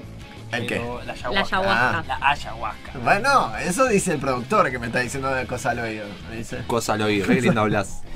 Bueno, y también generalmente resuelven conflictos de su infancia. Ajá. Y Eh, tiene que ver mucho con lo infantil, ¿no? El realismo mágico es muy de. Sí, tiene juega como mucho con eso. muchos personajes infantiloides, digamos. Eh, bueno, no, no te quiero interrumpir más. No, no pasa nada, caballero. Estaba flasheándola un poquito. No, no, me, estaba acordando de, de Big Fish, pero creo que vos también vas a hablar un poquito Claro, de eso, sí, ¿no? sí, no, no me cagué. No, no, disculpa, disculpa, no dice nada, no dice nada. No, es que hay justo se me vino esa imagen a la cabeza. Viste que uno no puede manejar las imágenes que vienen. Muy bien. Bueno, justamente esto habla de vos. Son seres que siempre están a la vanguardia de los acontecimientos políticos y sociales. Vos sos un, No. un realista mágico. Un Casi realista que es mágico. como un astrólogo sería, una especie de astrólogo. Claro, especie- generalmente siempre están un poco adelantados de su tiempo político. O sea, Claro, realmente Una siempre. Ludovica Skirru. Claro, Claro. dice, vendrán los asiáticos como perros a la Argentina, Argentina en busca de agua, por ejemplo. Claro, sí. Los chinos. En la guerra al agua, que se está refiriendo a eso. Pero bueno, unas cosas que uno Vamos a hablar también de un film que tiene un poquito de esto, que es Amélie, de Jean-Pierre Ajá. Jaunet. No sé si mi francés es bárbaro. film. Hermoso, precioso. Acá nuestra niña sueña un mundo esperando que el tiempo pase después de la muerte de su madre. No sé si se acuerdan que su madre Sí, sí. muere entrando a una iglesia y se suicida una turista y le cae encima. Bueno, esa cosa ya prácticamente graciosa de lo dramático Sí, que sí, es, sí, sí. Va un poco con la mano del Ya, ya ilustro un poco. Cuando ella puede adivinar la cantidad de orgasmos que, que tiene la gente. Claro. al- en- al- que es al principio de la película, cuando cuentan cómo es ella y ella dice la cantidad de orgasmos que tiene la gente, eso. Claro, ahí se puede eh, conectar un poco con lo que es, realizan grandes viajes en el tiempo y espacio, averiguan cosas, imaginan ese tipo de cosas y son personajes que tienen mucha magia en ese sentido. Acá en esta película tienen un entorno con personajes muy reales pero que actúan sin actuar, explotan de sí mismos, o sea, están contenidos, llenos de conflictos. El bar, el bar es un conglomerado de una Sí. persona que no le puede decir a la otra que la ama, que Claro. se queja, su vecino, el, el- el- el que me parece que es el escritor tra traumado, no, el que dibuja. El pintor, sí. Claro, el, el que ayuda en la verdulería. Son todos estos tipos de personajes que contienen esto. Acá Amelie ve en esto, en esta, en esta especie de infelicidad de los personajes, ve la oportunidad de ayudarlos y es así en una escena, pongámosle, que agarra un anciano y la que es hermosa escena y al ritmo de un bar de Chartersen agarra y camina por todo el mercado contándole lo que pasa y hay una luz mágica que ilumina el ciego arriba Sí. la cual demuestra una explosión de felicidad del, del anciano. Eso es mucho el realismo mágico y especialmente también se vio beneficiado el ingreso de, de, la- de lo digital al cine, ¿no? De lo Claro. que fueron los efectos especiales. Así que ahora vamos a hablar un poquito- firmada en Sí. Montmartre. No, tiene un dato. Es un, Eh, es un sí. barrio de París. Delicatessen también que es una especie de. Delicatessen, hay otra es- que es La ciudad de los niños perdidos, del Sí. mismo director, que es para chicos, que es muy buena, muy buena película, la recomiendo y tiene mucho de eso. Delicatessen también podría considerarse dentro de lo que es el cine de realismo mágico. Sí, hay muchos ítems, pueden faltarles uno, puede, puede faltarle uno, puede tener otro. Sí, obvio, obvio. Pero hay, hay muchos ítems que lo puede hacer, o sea, siempre va a estar la discusión, o sea, estamos todavía hablando de que una persona, en- en- por ejemplo, que Kafka pudo haber sido ritmo mágico, la Claro. metamorfosis, o sea, el personaje Claro. lo toma como real, que se está transformando y lo toma cotidiano, como sí, y se está transformando. los de afuera están tomando como no, o sea, la Eh, Lo, de Kafka está- igual es muy profundo, ¿no? Porque es una metamorfosis en una cucaracha. Una cucaracha ¿Por y- qué la cucaracha? Puede ser cualquier, ¿no? El otro día estuve Sí. leyendo mi clase de filosofía, no importa, me puse un poco profundo, pero ¿por qué la cucaracha? ¿No que nos está mostrando del hombre Kafka en esa... Claro. ¿Por qué se ríen cuando hablo serio? Listo, No, no, no, no, Me voy en este instante. Renuncio, renuncio, al aire. Esto me parece muy desprolijo. Muy a Mauro. No, por favor. Claro, bueno, lo que tiene en ese punto Kafka eh, lo transforma en, lo que en esa era estaba, en una era industrial, que se estaba empezando a dar una transformación, el trabajo. Kafka tuvo una vida de perro, si sabemos. Feísima. Su padre peleado con su padre, una relación con su padre muy, muy distante y tuvo una mala vida. Es también un poco, que ahora vamos a hablar, eh, lo que tiene que ver con, con- con el contexto y tiempo. Bien. La película de Jaunet, como la del Toro, tienen algo en común, que es su espacio y físico y su entorno se maneja en niveles duros y crudos de la sociedad. Claro. Como acá Kafka, por ejemplo, en una sociedad bastante problemática, se movía su entorno. Eh, la francesa transcurre en la clase media eh, burguesa, Sí. eh, pero infeliz, llena de conflictos, como ya estuvimos hablando, y la española en lo que es lo del inclemente tiempo de guerra. Pero ahí se da el debate de que si no es los personajes que están soñando todo el tiempo o si es algo que los demás detectan y lo toman como algo común. Porque podría. El laberinto del fauno es Sí. casi como un sueño de ella o una, una, una forma de escapar de todo lo que sucedía que era Claro, la guerra civil. ahí está un poco la mano del director también como en, en el sentido de cómo te la narra. El laberinto de Fauno, del Fauno, perdón, Fausto un amigo mío. Del Sí, sí, Fauno. un saludo. Eh, El laberinto del fauno, el director, nun- Guillermo del Toro, nunca te pone a ver si realmente la reina o no. Sabemos que ella muere, pero nunca tenemos algo que nos hace pensar que, no, que no era de eso. Y fijémonos, por ejemplo, que este género, Sí. ¿por qué, por ejemplo, por ejemplo, este género tiene estos problemas de, de tener ambientes crudos? No olvidemos que este género es de origen latino y se ha formado en tiempos de América Hispana, Sí, sí. en donde había mucha pobreza, mucha marginalidad, muchos problemas. Sí. Y vamos a decir la verdad, eh, capaz en tiempos necesarios en donde la- las dictaduras eran moneda corriente, la dictadura censora, esconder eh, la realidad en elementos mágicos podía ser un arma de hablar. Claro. En esa época en, en Colombia estaba el dictador de Rojas Pinilla. Rojas Pinilla. Rojas Pinilla, sí. Buen nombre. Es gracioso, pero se cargó un par de tipos, es Sí, lo que estoy viendo acá. Y los dictadores nunca Eh, fueron muy tranquilitos. No, pero bueno, este hombre, Rojas Pinilla, eh, que terminó en el 57, si mal no me equivoco, por esa época, fue el único dictador que tuvo en el siglo XX Colombia. ¿Colombia? Sí, el único dictador que tuvo en el siglo XX. Democracia, ¿no? Sí, sí, sí, se puede decir democracia, pero bueno. Ponele. Eh, este dictador estuvo por esa época y, y había muchos conflictos los cuales Gabriel García Márquez tuvo que exiliar, o sea, entonces puede ser que haya sido un poco la, la manera de esconder ciertos a- a- acontecimientos. O de 100 años de- Claro. Y decirlos también, en 100 años de soledad y hay un partido conservador, un partido liberal y entre luchan entre sí. Claro, Sí, o es sea, bueno, y acá por último vamos a hablar de lo que es las técnicas del director y ya vamos a ir terminando. Bien, a ver. Así no, no me Así no, no. Estoy, estoy en tiempo, Ah, ¿no? pero Todavía Estamos, sí. estamos, todavía estamos. está ahí, bueno. Y vamos a hablar de lo que el vanguardista se adelantó, Big Fish. de Big Tim Fish. Gran película. Que es como una película como separada de la filmografía un poco de, Sí, de Tim Burton, muy como- lejana. No tiene, no tiene oscuridad. pero Claro, muy no tiene. oscuridad, salvo las Totalmente. partes de bruja y ese tipo de Sí, cosas. muy poco. Muchos colores. Claro, bueno, sabían que Tim Burton había muerto el padre cerca de la Ah, mira. de lo que se había Bueno, hecho la y película, la película y, la comentó- y le iba a dirigir Spielberg supuestamente. la. Ah, mira. Y lo dejó el proyecto y lo agarró Tim Burton. ¿Cómo es el cine norteamericano? Todo agarra lo que deja Spielberg. Claro. Es una cosa que increíble. después tenemos un poco de eso en la columna de series. hoy. Claro, es como que va al lado de la chica linda del boliche para. Del, perdón, del chico lindo del boliche para La, la migaja. correr un poco. Bueno, Claro. es más o menos. Y después jugar ahí. The Big Fish, el protagonista Edward Bloom, es un hombre que, que relata su, su vida eh, añadiendo totalmente narraciones fantásticas. Claro. Esto se dirime en un hijo del cual nunca sabe, tuvo un padre muy ausente en su vida por lo que era, no porque, porque quisiera estar ausente, sino porque era un hombre que se iba siempre lejos, muy bohemio, muy Por su trabajo, Por digamos. su trabajo. Y tiene dudas sobre sus relatos y que son, si son verídicos o no. eh, Y va a fijarse, ¿no? Sale Claro. al mundo a ver. Su hijo va a su lecho de muerte, cuando está muy mal su padre está por fallecer, y empieza a igi- a exigir un poco de lo que es esa verdad, ¿no? Bueno, la- los acontecimientos y el espacio en tiempo donde se dan estos, estos, estas cosas son reales. Por ejemplo, se habla de la guerra de Vietnam y su participación, en su participación en ella, pero es su relato lo que la hace mágica y real. Acá Tim Burton utiliza el relato para poner la magia. Claro. Ustedes fijamos que acá nos ofrece dos eh, formas de, de narraciones. La, real, que es cuando está con su hijo en su casa, en su lecho de muerte, y la fantástica, que es fiel al relato. Es fiel al relato que él habla, no es que pone la verdad, la, la real, no, es fiel al relato. Por ejemplo, un gigante Carl que se come un pueblo, Come que tiene gente. miedo que se come gente, es un hombre que sufrió eh, gigantismo. ¿Y por qué lo sabemos? Porque Tim Burton, una al final, en la escena del funeral, Exactamente. A todos los. a todos, nos lo muestra, nos da a entender que sí, que existieron, pero que era toda una exageración. Que era como un punto de vista dentro de la realidad, ¿no? Claro, Que, de partían de la realidad, porque uno encuentra, puede ver los personajes. También había un, per- un personaje que eran dos, dos hermanas de, eh, de circo, dos Siamesas. dos siamesas.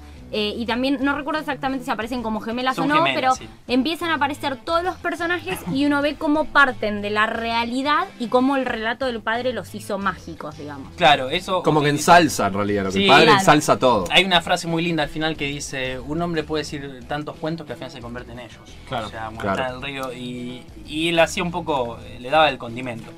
Bueno, acá para llegar al final de la Bien. columna, les quiero hacer una pregunta, esa que, Sí. que no busca incomodarlos. Por favor.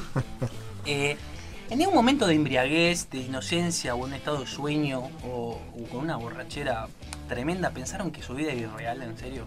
Que su verdadera vida quería el trabajo, que el dinero, que las cosas, que lo que pasó en la semana, que ese mensaje que mandé, que por qué lo mandé, por Sí, cómo sí. tuve que pensar. Dicen que el verdadero teléfono inteligente es aquel que te dice no mandes ese mensaje. Claro. Claro, seas boludo. Claro.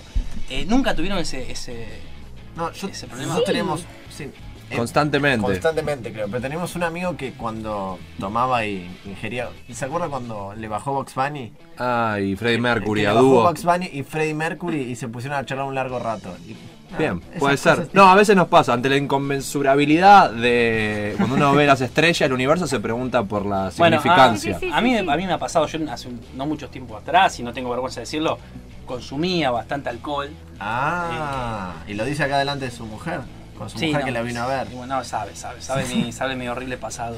No, pero consumía. Y, Es realismo mágico. Es no realismo mágico, no existe. exagerado. No, no. Claro, no, No, tomaba alcohol, era agua. He consumido- Oxigenada. No tengo vergüenza de decir que, consumido muchas cosas. Se, se ha hecho y es parte de la vida, no hay ni cosas buenas ni, no ni bueno ni mal. Para nada. Ahora, yo a veces me imaginaba mi semana y decía, loco, yo no puedo creer que esto pasó. Sí, era sí, como sí, que era una conexión que me daba con la realidad. O sea, los indios hablan de eso, eh, que es una conexión que te habla con, lo- con realmente lo real y ves, ¿es verdad ese mundo? ¿No participo de una farsa? E incluso el relato, cuando va pasando su tiempo, va siendo cada vez más épico. Lo va contando con más detalles que tal vez jamás existieron, pero lo va haciendo épico. Bueno, tal vez esto, porque como se define de un punto de vista sociológico, la realidad no existe, es una construcción mediante el lenguaje que hacemos cada uno, ¿no?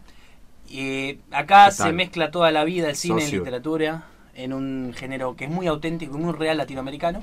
Y podríamos decir que una... Es como un, un género bien latinoamericano, Muy podemos decir el realismo ¿Alguna, ¿Alguna recomendación de alguna película que te haya gustado? La Casa de los Espíritus tiene mucho. La Casa de los Espíritus. Luego la vamos a ver La. Casa de los La Espíritus. Casa de los Espíritus. Es un gran libro. Si no vieron también. El laberinto del fauno, si no vieron eh, El gran pez, Lean 100 años de soledad. Lean, Sí. lean Soledad. por favor si el año de soledad, por favor, léanlo. Por Sí. favor, se lo pido. Más allá del realismo mágico, léanlo. Léanlo. Y bueno, y lo último para cerrar, si quieren tener realismo mágico, si quieren escribir, eh, piensen en una fórmula de verdad, más fantasía, más un poquito de supersticiones, nos va a dar una realidad enriquecida y con trascendencia. Así que muchas gracias. Muy bien.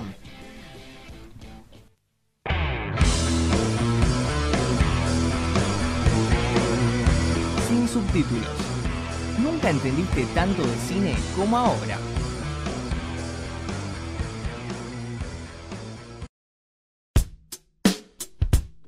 Bien, pasó la columna de Dani Capelletti sobre el realismo mágico. Muy bueno, eh, muy recomendable. La verdad que es un género, aparte, dentro de todo, lo que decía él al final, ¿no? de construir la realidad y reivindicar este género latinoamericano.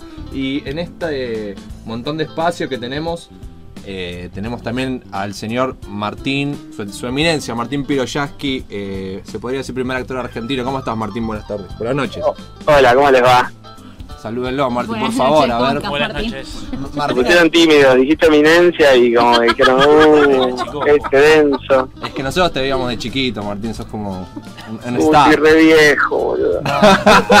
No, pará, vamos a arrancar. Pará, no arranquemos tanto, vamos a arrancar de vuelta. ¿Qué haces, Martín? ¿Cómo estás? Bien, bien, ¿cómo les va? ¿Qué haces, Martín? ¿Cómo andás? ¿Todo bien? Martín Piroyaki. Cumplió 25, 24, 25 ahora hace poco, ¿no, Martín? Estás re No, joven. 20, dijo. Ah, 20. Gracias. Ahora te zarparon para el otro lado. Bueno, no, ¿cuántos años tenés de verdad? Queremos saber. Porque 28. Wikipedia no lo dice. 28. 28 años. Bien, No no. lejos, ¿no? No Nosotros está estamos ahí. ¿eh? ¿Nosotros cuánto estamos? 18. 19. 19, 18 años, 15, 14, claro, 14. ¿En dónde está eh, Martín Piroyaki actualmente? Porque nos da mucha curiosidad. ¿En este momento? Sí. En un McDonald's. No, Ah, no, Re patético. Re triste. No, ¿por qué triste? ¿Estás solo? No, estoy acompañado. Bien, Bien, De gente muy linda. me imagino. No para mí. O sea, re boludos, pero son re lindos. Bueno, suele pasar, es como que la naturaleza eh, No, no, pero compensa. en realidad queríamos saber exactamente qué está haciendo el McDonald's, dónde está, en qué localidad está ubicado el McDonald's. Estoy, ahora estoy caminando por Coronel Díaz. Ah, pero está, está acá en la capital. Estoy en la capital porque volví el fin de semana. Estoy viviendo en Tigre filmando una peli y ahora estoy en Capital eh, por el fin de nomás. ¿Qué, ¿Qué película está filmando? ¿Quiere contar un poco sobre su proyecto? Sí, una peli titulada Voley y está eh, el chino Darín, Violeta Ortiz Berea, Inés Efron, Vera Espineta, Justina Bustos y yo. Bien. Supongo que debe tratar algo sobre vole, no sé si quiere, si quiere adelantar un poco sobre Bien, eso. Holmes. En, en realidad no, en realidad no trata sobre el volei, trata sobre un grupo de chicos que se van al Tigre a pasar Año Nuevo. Bien. Ah, y pasa algo. ¿Y hay, hay unos besuqueos, puede Y- ser? Hay, hay mucha promiscuidad y, Y hay- y- y juegan un partido de volei. Y, dro- y drogas debe haber también, ¿no? Muchas. Y sí, hay cocaína, hay hongos y marihuana y alcohol. Qué ricura todo Eh, eso. pero eso tiene que Bueno. ser catalogado para 25, 26 años, no se puede. Bueno, no, pero no se ve una teta. No, Así que Ah, pues, entonces- la pueden ver eh, niños. Nosotros teníamos, vamos a confesar, eh, te saluda, ¿cómo estás Martín? Nosotros teníamos un amigo que nos exigía cuando lo llevamos al cine, que lo teníamos que arrastrar, era que si no veía una teta en la película nos iba a insultar. Entonces bueno, a tu película no la vamos a poder llevar entonces. Si no hay tetas, ¿no le gusta? No, no le gusta.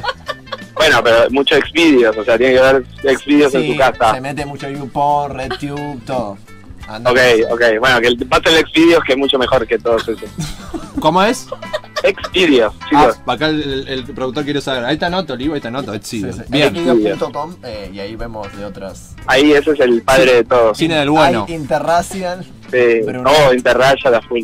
¿Hay MILF ahí? ¿Se ve algo? Sí. Hay, hay todo, hay, hay géneros que no- ni conocen. Uf, qué lindo ser- esto. Puede ser que esté la Golden Rain, puede ser. Golden Rain, uh, bueno, pero eso ya es de los 90. Oh, noventero.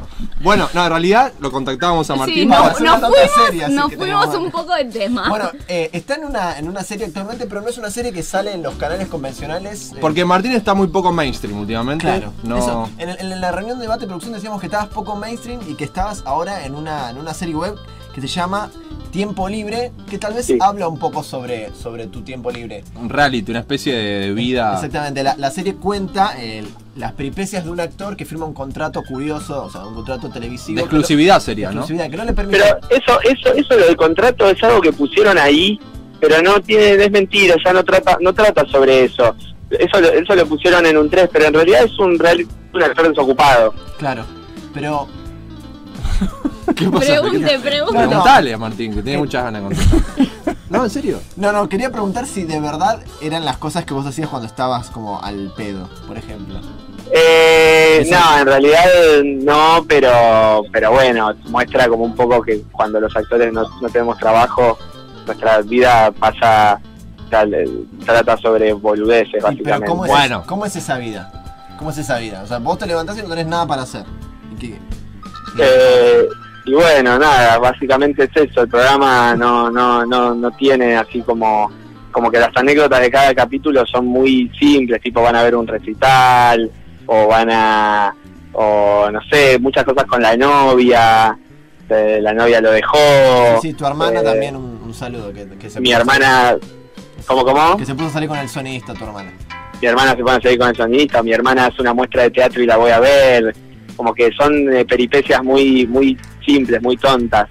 Claro, es, es la, es la vida cotidiana de un actor cuando no está trabajando, básicamente. La- son, Exacto. son 20 capítulos eh, de 7 minutos, es- son súper cortos. Y lo firmaron para la universidad, o sea, para el canal de la Universidad de 3 de febrero. Exactamente. Es, es un canal que, que está Sí. solo en internet. Está solo, va a salir en la televisión digital abierta y eh, eh, chiquito.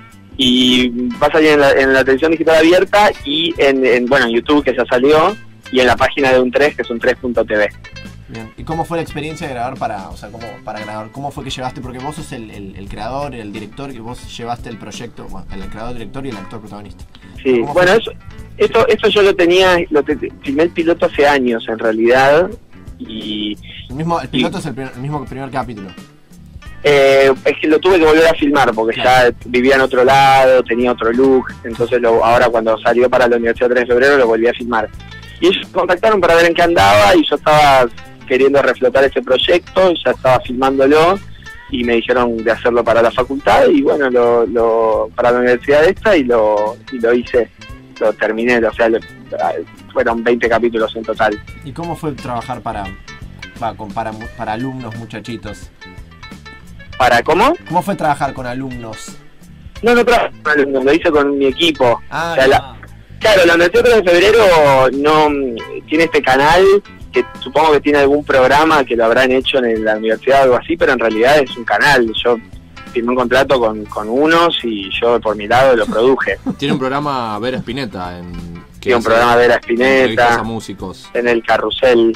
Sí. ¿Y por qué? Y hay- ¿Y por qué particularmente a, a lo que es en, particularmente a lo que es en general? Estoy 10 puntos. Eh, ¿Por qué no lo vemos a, a Martín como que te alejaste un poco de la tele, puede ser? ¿O vivís alejado No, de la en tele? realidad- ¿O no te va, haces la, la tuya, como que mucha producción propia? Vimos, recuerdo el corto Te Amo, creo que se llamaba. Sí. No me ama. No me ama, por No me uf, ama y el año pasado lo entrevistamos con Abril en Nueva York. Abril en. Nueva York, como toda una cuestión medio como que laburás vos de todo, ¿no? Actuás, dirigís, Sí. producís. Autogestión, lo que se dice. Sí, eh, no, en realidad hace dos años actué en un programa de Telefe que nunca salió al aire, que se llama Mi Viejo Verde. Y era Buenísimo. tipo re mainstream. ¿Perdón? Mi Viejo Verde. ¿Y qué era? Sí, bien. No, era una comedia de Telefe para toda la familia. ¿Y la pasaste Eh, bien o cómo te fue ahí? Sí, estuvo bien, qué sé yo, un programa muy así, típico programa de la tele. Eh, y super main, era, nunca salió al aire igual, así que no, no es ni mainstream ni under, pero, pero no, no tengo problema con lo mainstream en realidad. También de pronto depende de, de dónde me convoquen y si me interesa y cuál es el personaje y bla, bla, bla. Pero no, no lo pienso tipo, uh, esto es mainstream o uh, esto es under. Me, me, me gustan los proyectos en realidad, ¿viste? ¿Y a, y a vos te gustaría producir algo mainstream? O sea, algo para la televisión grande. Sí, obvio, re, re. Ahora volei también la escribí, la escribí con, con dos chicos que son los mismos guionistas de Tiempo Libre. Y, tam- y, y, eh, también, y la produce Patagonic, y la dirijo yo, y no es una peli under para nada, o sea, tiene una comedia súper sexual y, y súper comedia. ¿Esto, fue, te abrió las puertas a Abril en Nueva York o fue que se fue dando? Eh, no, no tuvo mucho que ver abrir en Nueva York, la verdad. Fue que yo por mi lado fui a Patagonic, les presenté el guion, les gustó, y me dijeron, bueno, vámonos Claro. No sé ni siquiera si la vieron abrir en Nueva York, la verdad. Capaz vamos nosotros ahora y presentamos el proyecto. tenemos, tenemos esto. Tenemos un programa de radio muy bueno. Y qué sé yo, por ahí les produce un programa de radio. ¿Para, ¿Para cuándo está previsto el estreno de, de esta nueva película, Martín? Para septiembre aproximadamente. Ah, bien, para este año. O sea, están filmando. Sí, sí, sí, sí, sí, así funcionan ellos. ¿Y ya la están terminando? Estamos, y nos queda una semana y ya terminamos. Bien. ¿Y cuánto, cuánto llevó el rodaje en, en, en Tire? Eh, en total van a ser cinco semanas más o menos. Bien. ¿Y están viviendo todos los actores juntos en la misma casa? En un hotel, un hotel ahí en el Tigre, cerca de la locación. La, tu, Lindo tu eso. novia que aparece en la serie Tiempo Libre es, la- es tu novia de la realidad? ¿La pareja? No, no, no, no, no, nada en la serie es real, no tengo, ni siquiera tengo hermana. Este, es todo, todo, todo de mentira. Bien. Sí, sí, el sonidista no es sonidista. No, no, no, eso no nos dimos cuenta porque los sonidistas. Pero no- vos sí sos actor, eso es lo único verídico. Lo único verídico es que me llamo Martín Piroyansky. Claro. Y que escupís en los balcones. ¿no? Eso es verdad, eso es bastante verdadero. Martín, dijiste que la serie también, digamos, ya, ya se puede ver online, pero que se va a estrenar en la televisión digital abierta. ¿Cuándo, ¿cuándo se estrena, sabes? ¿Tienen fecha? Eh, no sabemos la verdad. Eh, igual para mí en, en, en un mes va a ser eso, pero para mí lo importante es eh, que se estrene en YouTube. Es un formato muy pensado para internet porque son capítulos de 7 minutos. Entonces Claro. ya para mí ya se estrenó. Sí, aparte, Este, ¿cómo lo pasarían en la tele? O sea, en capítulos todos juntos. Se No, en realidad el canal está medio pensado así, son como series de pocos minutos, entonces tipo, creo que Tiempo Libre sale a las 10 menos cuarto de la noche, ponerle. como unos horarios muy raros. Pero nada, para mí la aposta es YouTube, este, que la gente lo vea por YouTube. Si fuera una serie de media hora o de una hora, sí lo estaría pensando para, para la tele. Este, Y hay, y hay actores que, actores amigos que han visto la serie y dijeron, ¿sabes que yo hago lo mismo? ¿Sabes que yo escupo por el coso? ¿Sabes que ¿Sabés que un sonito se enganchó a mi hermana también, hijo de puta? eh, y si escupís por la ventana, podés, podés- es, muy buen material. Pero hay, hay, hay actores que te han contado, no, no, no, sabes que no hice nada en todo el día. Que- ¿Cómo, cómo? Hay actores que te han contado cosas que han hecho en sus tiempos libres que decís, "¿Sabe? lo podría haber puesto en la serie. esto". Y todo el tiempo me pasan cosas y digo, uh, esto sería un capítulo bueno de tiempo libre. Claro. Bueno. Eh, ¿Tienen proyecciones para seguir tiempo libre? No, no, no, la verdad que 20 capítulos fue un montón, fue muy muy agotador este, hacerlo en un formato de producción muy chico, viste muchos favores, me, cada vez estoy quemando todos los favores que puedo pedir. Claro. no pones guita, pero más favores, capaz tenés que. Claro, que en un punto es peor. Sí, sí, sí, totalmente. Tenés que empezar a devolver entonces. Sí, sí, exacto. Nos tenés que devolver un favor y venir acá al, al piso. que- Dicen, dicen que, la Ah, tercera, dicen que la tercera es la vencida, es la segunda vez que te entrevistamos. Tal vez te podemos comprometer al aire para que la próxima vengas Qué al lindo piso. comprometer al aire, me encanta. Eh, dale, dale, Esta- dale, dale. pará, pero este año estamos en el obelisco, estamos un poco más accesibles. Claro. Están tipo, mm, creo que yo fui a esta radio, ¿que es en un subsuelo? No, No, antes, primer- antes capaz estaba en un subsuelo, Nati, la radio. Porque ¿Qué era la de. Estaba durmiendo Nati, la- perdón. La de Martina Soto es la radio. Eh, Nati, ¿es- ¿era un subsuelo esto, la radio antes? La es de Clemente Cancé. No, que yo sepa, no.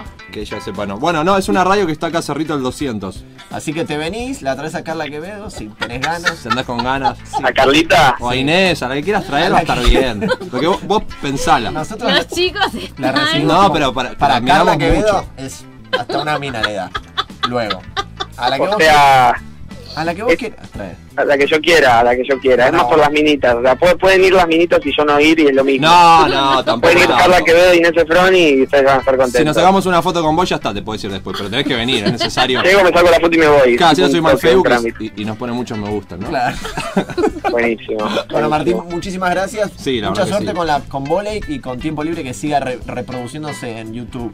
Si Bueno, muchas gracias a ustedes. Bueno, y rica la hamburguesa de McDonald's. ¿Qué te pediste? No, ahora vine a un Subway. ¿Estás a full consumiendo a morir? ¿Estabas de bajón? No. No.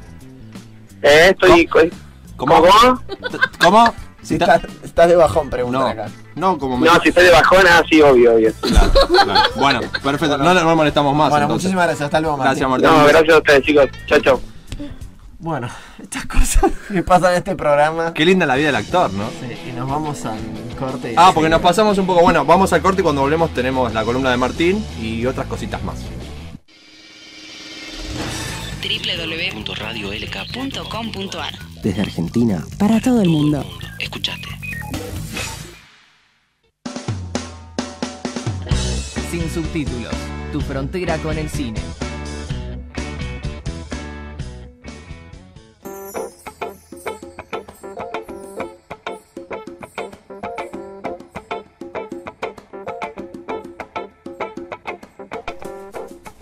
Bien, pasó Martín Piroyaski una vez más por el de Sin Subtítulos, esta vez eh, en otra radio lo, lo entrevistamos el año pasado por el estreno de Abril en Nueva York, este año por su Tiempo libre. tiempo libre, su serie web. Por Hablamos su- un poco de Voley, que es una película que capaz hasta lo entrevistamos cuando se estrena, ¿no? Puede venir acá, lo Pero comprometimos al aire a venir, él medio que se lo tomó, medio que no iba a venir. sí, sí. Porque lo exhortamos a que traiga algunas damiselas Sí.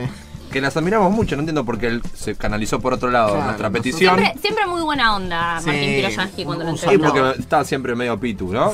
Eh, Martín, mientras yo le cuento que siendo las 23.10, en Marsella, por ejemplo, donde Loco Bielsa va a dirigir, no sé si usted se enteró de esto.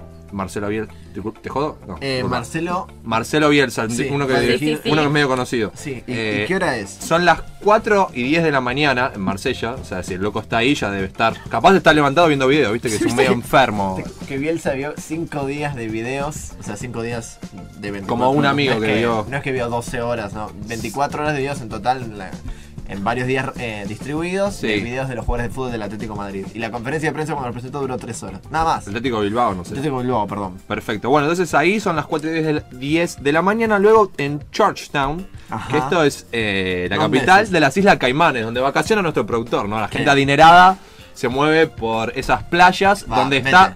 Donde está. Chabran, ya lo sabemos, y muy probablemente Néstor Carlos también esté de la mano de Chabran. Ambos ahí son Seychelles. En las Bueno, ahí está la plata de tu tía. A las 9 y 10, 21 y 10 son en Georgetown, eh, en la Gran Caimán, Sí. donde, bueno, sabemos que está el muñeco Alfredo Chabran. Sí. Y bueno, y en Marsella son las 4 y 10 de la mañana, donde va a estar el loco Bielsa. Yo le ¿Usted cuento cree- estas cosas. Pero cree que nos están escuchando a las 4 y 10. ¿Alguien? Para mí que sí, porque usted dice que no. Bueno. Marsella es el club con más eh, fanáticos de Francia, por eso el himno se llama la Marsellette. No, Bien. ahora estoy tirando fruta completamente. es un realismo mágico que acabo de inventar. Bien, columna de series. Pero tenemos series con. Martín Ligori. que sigue con el buzo. Sigue con el buzo. Martín. Ah, igual perdimos el aire, ahora estamos más un poco más relax. Sí, porque somos 204 adentro Sí, del, del estudio. del estudio y hace un poquito de calor. Bueno, El Martín. uso es para torturar, torturarlos a ustedes. Claro, para que nos dé calor de la vista nada más. Bien, Martín, ¿cómo estás? Y acá estamos. La verdad que fue una semana bastante tranquila para las series, como está eh, terminando ya la temporada, digamos, Sí. no suele haber muchas novedades, pero como siempre yo tengo acá... Tenés como las pastillitas. Siempre que a vos te garpa Cosita. Netflix, aparte, ¿no? Siempre tenés alguna cosita. La semana pasada Esta como semana- 3, 4 cositas. Pero Está esta- bien. Esta semana parece que no viene nada en Netflix, ¿no? O viene algo. Ah, no garpó la cometongi. No. Bueno. Bueno, a ver, ¿qué tenemos como Bueno. primer cosa que quiero saber? Ah, sí, el plato fuerte de la columna, de la pastillita fuerte, es un piloto que están armando Mick Jagger y Martin Scorsese. Mick Jagger, el, el que Mick canta Jagger. en los Stones. Sí. Ya, pro- produjo algunas series antes, ya, Ah, ya, mire. ahora no recuerdo Mire, mucho. Claro, con la guita que pero- tiene de empezar a como a darla. ¿Y qué hacemos? Y probamos una serie. Claro, fue. Claro. Bueno, esta serie está, eh, bueno, por ahora está en estado de piloto, están armando eh, el piloto Mm. eh, para HBO. No se sabe cuántos capítulos van a ser. Eh, Martin Scorsese que había filmado Shine Light, ¿no? Con los, re- con los redondos. Uf, con los Rolling Stones. Con los Bueno, Rolling más, o Stones, menos, exactamente. más o menos lo mismo. Podría. Sí, Estaría seguramente. bueno. Bueno, eh, bueno, están armando este piloto que es eh, sobre una discográfica de los 70 que está medio fundida por culpa del punk y del, la di- y del disco. Bueno. Y bueno. Ya pinta comedia eso. Claro, sí, ya sí, pinta joda eso. pinta. Eh, aunque el guionista es el de Backward Empire, así que probablemente mira. sea Ah, una serie mira. más tirando a serie. Bien. Eh, los actores que están confirmados ya para la serie son Bobby Cannavale, Olivia Wilde, Juno Temple y eh, Bobby, Romano. Bobby Carnevale estaba en Boardwalk Empire o me estoy confundiendo. Ya, sabes que no. Me parece que Olivia sí. Wilde es la de, la de House. Sí. La que está en Doctor La, House. la bella, la de Tron también. Esos Sí. ojazos que se los, Sí, lo que se le pasás mirándole. Bien. se los besaría. Bueno, otra cosa así fuerte, digamos, que confirmaron esta semana es la nueva serie de Seth MacFarlane, el creador de Padre de Familia. Sí. Sí, lo mejor que hizo. sí, Lo exactamente. mejor que hizo. Lo mejor que hizo. No, bueno, Ted está muy buena también. Y ahora va a lanzar una película sobre. ¿Es mejor que Padre de Familia? No, no. ¿Mató a alguien? Bueno, entonces No, no. ya sabe. No, pero esta serie la verdad que pinta bastante interesante. No es animada. No es animada, es de acción real. Bien. El protagonista es Patrick Stewart. No sé si lo tienen. El pelado- de el señor Javier. Ah, Sí, Charles. Javier. Charles Javier. Ah, Profesor Eh, Javier. bueno, y la serie supuestamente va a tratar sobre un, un columnista o un periodista de televisión que, bueno, que tiene que levantar el rating de su programa. Sí. mira. Eh, ¿Y entonces qué hace? ¿Qué, qué hace? Pone culos, ¿qué pasa? no, y tiene que, tiene que aguantar, eh, digamos, no llevarse bien con los compañeros, no llevarse bien con la familia. Parece que tiene un montón de hijos con los que tampoco puede Se manejarse del todo. claro. Una buena Así que persona, bueno, parece. claro, exactamente. Un saludo. Y bueno, él dice que está muy contento con el personaje. Sí. Así que. Hacía mucho que no se lo veía en una serie a Patrick Stewart. Sí, de verdad, Star Trek, haciendo- ¿cuándo fue? Sí, igual 15 hizo, hizo más serie después. ¿Hizo más serie? Ah, bueno, pero, yo no sabía eso. pero sí, igual hace rato que no, no está en la ¿Pero se recuperó del accidente? Claro, ah, no, está paralítico. Ah, pero en la, ah, perdón. Pensé que en la realidad también. Ok, volvemos a la realidad. Bien. Bueno, así que esta serie no se sabe exactamente cuándo es la fecha de estreno, pero ya se confirmaron que dos temporadas de 10 capítulos. O sea, Bien. así de, de entrada dijeron ¿Qué, pero qué vendría? dos temporadas. ¿Es como un drama? O es, No, es una comedia. es una comedia. Ah, es una comedia. Ah, bueno, mira. Sí, sí. Le pegué, por suerte. Bueno, Sí. eh, bueno eh, otra para después y no me digan que me auspicia. A ver, a ver. No, eh, hay otros que se largan a jugar en el campo de las series digitales. Están sacando mucho, ¿no? Están Como saliendo muchas mucho, Porque empresas. ya la tele como que Bueno. se nos va. La sorpresa de esta semana fue Yahoo, que dijo que va a producir dos comedias. Y a Juel del mail. Yahoo, el del mail, Ah, mira. exacto. Mira. Va a producir dos comedias. Eh, a mí, una de las dos fue la que más me llamó la atención. Pero ¿cómo gana plata si da mail gratuito sobre Yahoo? Siempre me pregunté eso. La No, ven la Ah, la publicidad. Ah, millones y millones que- de ingresos que tiene por publicidad. No- que el programa, había olvidado. que nuestro programa no tenga publicidad. Ah, claro. Yo vivo en un realismo mágico. Me inventé una- un medio paralelo, sí. Bueno, eh, y bueno, una de las series, de las dos series que presentó, que a mí me llamó mucho la atención, eh, creada por Paul Feig, que es eh, un creador de series de culto, digamos, hizo varias. La más conocida es Freak and Geeks, Sí. que es una serie donde empezó el muchacho este que andaba sacándose fotos en calzones esta semana, James Jane Franco. Franco. Claro. No, en bolas. ¿Qué le No, pasa a no, Jane. Franco? Ese sí tiene mucho Está tiempo consumiendo libre. mucho No, para mí. pero Jane Franco tiene mucho tiempo libre porque Se si está lo- picando. si usted lo sigue en Facebook, estoy muy ocupado. Sí, vos también. Y, y vos, y Yo Bosnia. trabajo 12 horas. Bosnia. No, tengo tiempo para eso. Con no, bueno, Argentina, perdón, mundial. Pero Jane Franco se, constantemente se saca fotos en Facebook y las sube de él en la cama. No sé. Y pero si vos la ves, él la va a seguir subiendo. Bueno, sí, un saludo. Bueno, sí, es eso. La mejor de las suertes para Es James. una manera de mantenerse vigente también, ¿no? Claro, es verdad, podría ser. Pero bueno, eh, en, en la serie supuestamente es una serie, una, también una comedia espacial.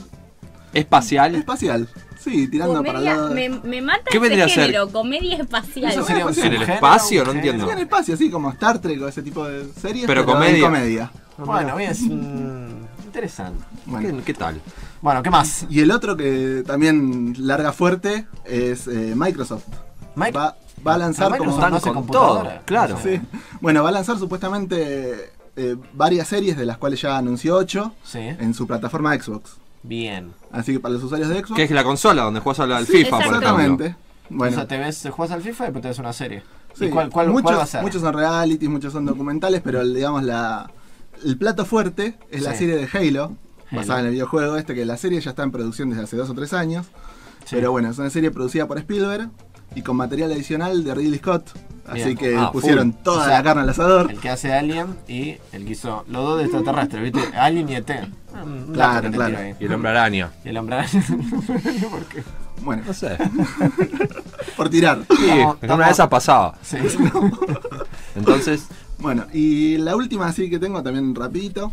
eh, la primera serie que va a producir para televisión, Frank Miller, que hasta ahora, eh, bueno, es un artista de cómics que hasta ahora había hecho películas, Sin City. claro, 300 pero- también. 300 también. Las últimas. Bueno, pero esta es la primera vez que va a hacer una serie de televisión.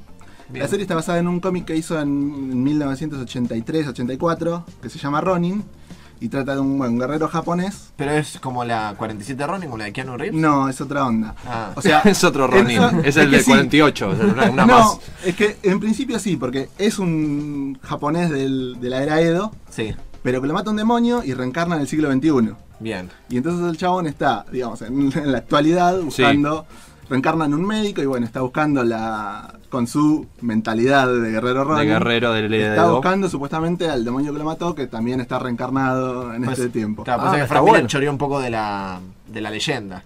Claro, de ahí disparó, bueno. Disparó eso, pero lo hizo en clave de Lo puso moderna. en el Álvarez, dijo, vamos a poner un samurái en el Álvarez. A ver qué onda, cómo funciona, que es más o menos lo mismo. ¿Y quién, y quién es el demonio? ¿Se- qué- ¿De a qué No, se dedica? No, se sabe. No, Puede ser no. sodero, puede ser cualquier Sí, cosa. sí. Claro, Claro, perfecto. te reencarnás de Sodero y está con la espada y la soda. Qué lindo que sos. Sí. Así que bueno, esas fueron mis pastillitas de series. Pastillitas. Entonces, entonces te- pará, mencionaste a todo Ridley Scott, Spielberg, eh, Scorsese, ¿quién más? ¿Quién más Mick falta? Jagger. Mick Jagger, James Franco. Jim Franco, un montón de gente. Tremendo. Sí, no, yo vengo tirando nombres. ¿no? Es puro nombre lo tuyo. Bueno, bien. Son- Y Yahoo y Microsoft se largan a hacer eh, series para. Hay que ver, o sea, que era. a- Internet. Especulemos cómo lo hará Yahoo. Creará una. Te una- mandará un mail. Claro, creará una página nueva. ¿Viste que Yahoo. Para ver la serie, para mí tienes que abrirte un mail. eh, porque está medio Claro, sí, matadito. probablemente sí, tenés que tener la cuenta. Yo calculo que lo va a poner en la plataforma que tiene de videos, que hasta ahora generalmente ponen trailers y eh, recortes de noticieros. Yo calculo que las va a estrenar ahí. Y el principal ingreso va a ser el publicitario. Claro, o sea, se va a em- empezar a expandir Yahoo como una nueva Netflix. Sí, eso, supongo yo que es un poco lo que pretende. También lo está haciendo Amazon, también lo está haciendo. Pero va a ser gratarola. Aparentemente sí, todavía no, no especificaron bien cómo va a ser. Solo dijeron vamos a sacar estas series. Claro. Bueno, capaz que habrá que garpar. Bueno, nosotros también estamos pensando en hacer una serie, ¿no es cierto? ¿Cómo se va a llamar? No, ahora les ahora vamos a escuchar un temita y después les contamos a la gente cómo, cómo se va a llamar la serie. In a hot, dense state that nearly 14 billion years ago expansion started. Wait, the earth began to cool the No hay mucho para pre- no hay mucho que decir para presentar este tema, solo una palabra, vacina.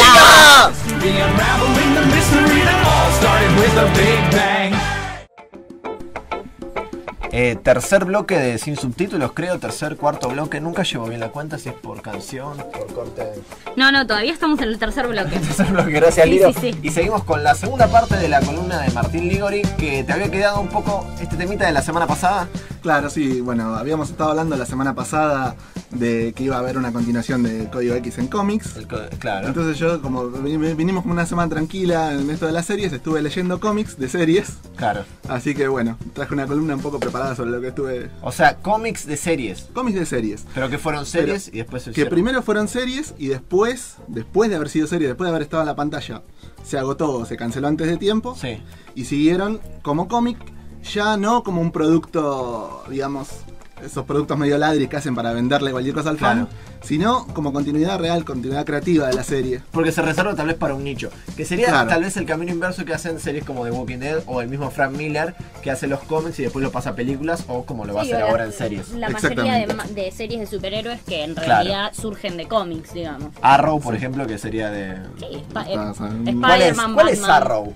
Es eh, el, el superhéroe, el de la Flecha flecha. verde. Flecha Sí. verdes. Ah, bueno. Flecha verdes, Flecha sí. verde. Bueno, bien. Bueno. ¿Qué? Eh, bueno, eh, entonces esos cómics que generalmente, digamos, son continuidad real de la serie. Que para una serie por ahí eh, los números no están del todo bien, pero para el cómic son muchísimo. Por ahí tengamos en cuenta, digamos, que como está en el mercado y esas cosas. Una serie de televisión por ahí con 3 millones de personas es un fracaso. Y un cómic que vende 50.000, 70.000 ejemplares es todo un éxito. Bien. Entonces, tenés 3 millones de fans ahí. Seguís con tu serie en forma de cómic. sabes que se va a vender a nivel éxito. Sí, y sí, es sí. mucho más barato Sí, sí, producir que una serie de televisión. Sí, sí, me imagino. El primer caso que hubo de esto fue eh, en el año 59, ya hace mucho, ¿bien? Sí, sí. De la serie El hombre del rifle. No sé si alguno la conoce. es No, una serie- no tuve el agrado, pero el hombre del rifle suena es un clásico, pervertido. claro. Suena un poquito, ¿no? Un es poco un clásico de las series que lo suelen dar cada tanto. O sea, en este momento no está al aire, pero en algún Pero sería momento- tipo TCM. Claro, TCM te, pasa el hombre del rifle. Exactamente. Bien. Bueno, eh, fue el primer caso que recuerdo, fue un cómic bastante interesante en su momento, digamos, tuvo mucha repercusión. Eh, pero bueno, viajamos un poco hasta los 90, Sí. en donde eh, cancelada la serie Alf. Sí. No, pero volvió en forma de fichas. Claro, volvió en forma de fichas. Bueno, Bien. antes de volver en forma de fichas, había vuelto en forma de cómic. Salió durante dos años más. ¿Estaba en forma Will y estaban todos en el equipo en Estaba- estaban absolutamente todos los personajes y la verdad que esta, eh, esta serie la sacó Marvel, esta serie de cómics de Alf la sacó Marvel, que se ve que saben lo que hacen los muchachos. Sabe de gente que viene de otro planeta, ¿no? Marvel. Sí, claramente. Y la verdad que para esa época era bastante divertidos. eh, hoy en día son muy buscados por los coleccionistas estos cómics, llegan a valer bastante. Pero duró muchos, muchos años la. Duró dos años, pero saliendo quincenalmente, o sea, llegó a casi a 50 números. Claro, bien, bastante Y bien. sí, algunos de estos números hoy en día se consiguen a 100, 200 dólares de los... ¿En serio? Sí. Alf que comía gatos, recordamos. No Sí, venía de del culto que se comía volvió. gatos. Pero Alf después estuvo como en una serie animada. Tuvo una serie animada. Tuvo una serie animada, no fue después, fue durante el Fue éxito durante. de, Del- del éxito y- de la serie de televisión, y- pero y- esta serie, la serie animada lo que hacía era mostrar cuando vivía en su planeta. Claro, como la precuela sería. Y después hubo una película En Facebook está Alf. Segunda oportunidad. Si vieron, oportunidad. Sí, sí, está Alf por la calle de Buenos Sí, Aires, muy lindo. Y bueno, hubo un intento de revivirla haciendo una- un telefilm que si salía bien podía continuar en otra serie, pero la verdad que fue un desastre. Se llama Proyecto Alf y y era solo Alf. El resto de los personajes eran todos nuevos. Te lo mostraban en como que lo tenían capturado en una base de, de la CIA. Ah, y- bueno, ¿no? La y- droga. y- claro, sí, y lo ayudaban a escapar unos chicos. Es un desastre esa Sí, sí. película. Bueno, no la Así que, no, para nada. ¿Qué más? ¿Qué, qué otro Bueno, cómic? eh, un cómic que está muy bueno, ya más moderno. eh, la serie de Farscape de Jim Henson. Eh, Me mantengo abstemio. de esa Preferimos no hacer comentarios al respecto. bueno, es eh, también una space opera, una serie espacial. Bien. Eh, Estas cosas que nos trae Martín son Space Opera es muy bueno. Estos géneros. Es que- como soap opera, pero space opera. Claro, exacto, pero en el espacio, exactamente. Porque tienen esta cosa de, de ser seriado o novelado, digamos que tienen, pero en el ambiente espacial. Sí. Contexto, Bueno. Contextualiza, contexto espacial. Contextualiza, ¿sí? bueno, eh, esta serie Firescape es una serie de los 90, Sí. que creo que acá la pasaba HBO en esa época, no sé, Sí. no me acuerdo bien que la producía, que tiene mucho títere, mucho muñeco, así, es tirando infantil, pero no llega del todo. Bien. Así que, y- pero lo que tiene es eso, tiene unos cómics muy buenos que Sí. siguieron la historia después de las 4 o 5 temporadas que tuvo la serie. Y bueno, arrancó como una miniserie de 4 números, pero salieron, ya creo que va como por el número 50. Ah, también. continúa ahora. Continúa ahora, siguen Ah, saliendo en este momento. Y bueno, y el caso más emblemático, que es a mí el que más me gusta, es... Saram, A ver, Gastón. saram. A ver. Bueno, de esto creo que prácticamente podía hacer una columna entera, que es eh, los cómics de Josh Whedon. Josh Whedon es un Diga, diga, diga. es, Por es- favor. es el director de Los Vengadores. Sí, sí. Que bueno, que antes de, de hacerse súper famoso con esa película, hacía muchas series, hizo muchas series de culto que en su momento eh, fueron canceladas abruptamente. Sí. Y sus cómics, eh, bueno, tanto el de Buffy, Cazadora de Vampiros, Sí. el de Ángel y el, sobre todo el de la serie Firefly, son tremendos. O Primero sea, principal- él hizo los cómics de estas series de ciencia ficción de vampiros. Claro. Lo que tiene es que siguió trabajando con los mismos guionistas que hacían la serie. Entonces, eh, cada vez que sale un- una miniserie o un nuevo capítulo, digamos, tiene alguno de los guionistas originales de la serie. Que son tipos que no se sabe cómo los convence para que hagan esto un cómic. Con taca taca o con que falopa, no. porque se mueve el mundo, básicamente. Es- ese es el punto. O armas. Es, Son tipos que ¿Por qué le vas a ganan. ofrecer un arma? ¿Te doy un arma a un guionista? Eh, bueno. bueno, para que se raje un tiro podés jugar de- a ser Dios. Son tipos que ganan 100, 200 mil dólares por escribir un capítulo y tienen que escribir un cómic que no van a ganar más de 5 mil dólares. Así que con plata no los corre, eso es lo Claro, extraño. Con mil dólares sacate como te compras tres casas, ¿no? Acá estás de fiesta, ¿no es cierto? Sí, sí, sí. Y lo que tiene en este caso que estos sí son completamente canon, o sea, siguen rígidamente la mitología de la serie, no se contradice con nada, no son un producto accesorio, son... ¿Y esto se puede encontrar acá en alguna librería de Buenos Aires? No Mu- se sabe. Sí, sí. Sí, yo mucho- muchos los compré acá. Ah, tenés un par. Tengo unos cuantos. Ah, bueno. tenés unos y cuantos. no, además, sobre todo justamente los de la serie Fire- Firefly tienen unas ediciones impecables en tapa dura, muy buen papel. Eh, bueno, ta- también se fueron, fueron traducidos al castellano, yo originalmente los leí en inglés, pero... Todo un geek, Martín. Un, fanático. Tenemos, Sí. tenemos un geek en el estudio. Yo ya les dije, nos quiere serruchar ¿Qué sé el yo? piso, lo digo todos los programas. Bueno, está bien, Lito, tranquilízate un poco. Y bueno, básicamente esos son los, los cómics que estuve viendo esta semana, un poco, bueno, algunos ya los tenía, pero bueno, con eso cerramos la columna y... Tremendo Pero los no, no trabajamos, Martín, que les comen. No entiendo. Lees cómic en el No, no laburo, desarrollás, vas no. muy seguido de cuerpo que te da tiempo No, de, no ingresás. de leer el cómic. El, para el cómic eh, y sentarse en el baño va muy de la mano, me parece a mí nada más. Uno que te sentás, medio que te lees un cómic, no. Yo no, suscribo a. No, porque se puede Te mojar. sentás a leer en la biblioteca. Yo te explico, él es un geek, entonces no Lo moja. llevas en un folio, una bolsita, sacaste de su empaque original, Sí, ya no es coleccionable. en un Ziploc. Bueno, ¿Qué nos dice acá? perfecto. Nos mandan un cartel con un gato fumando una pipa que nos dice que nos tenemos que ir a la tanda. Luego de la tanda está sentado con nosotros ya, aunque usted no lo haya escuchado, Martín de Salvo, el Puedes saludar y decir buenas noches, porque estuve escuchando toda la columna. Buenas noches, muy buena, muy buena la columna, me encantó, muy divertida. que Bueno, No, no, no, quería decir que nos vayamos a una tanda y, y después lo entrevistamos bien. bueno, dale. Así en profundidad. Vamos. Como nos gustan a nosotros.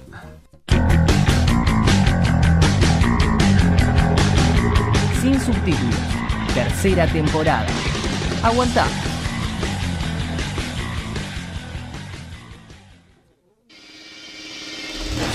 www.radiolk.com.ar Desde Argentina, Para todo el mundo. escuchaste.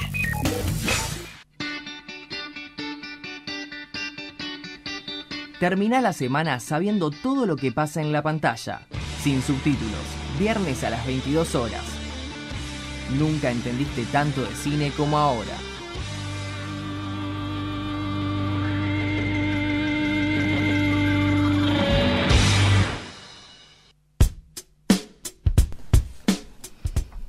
Nombre completo.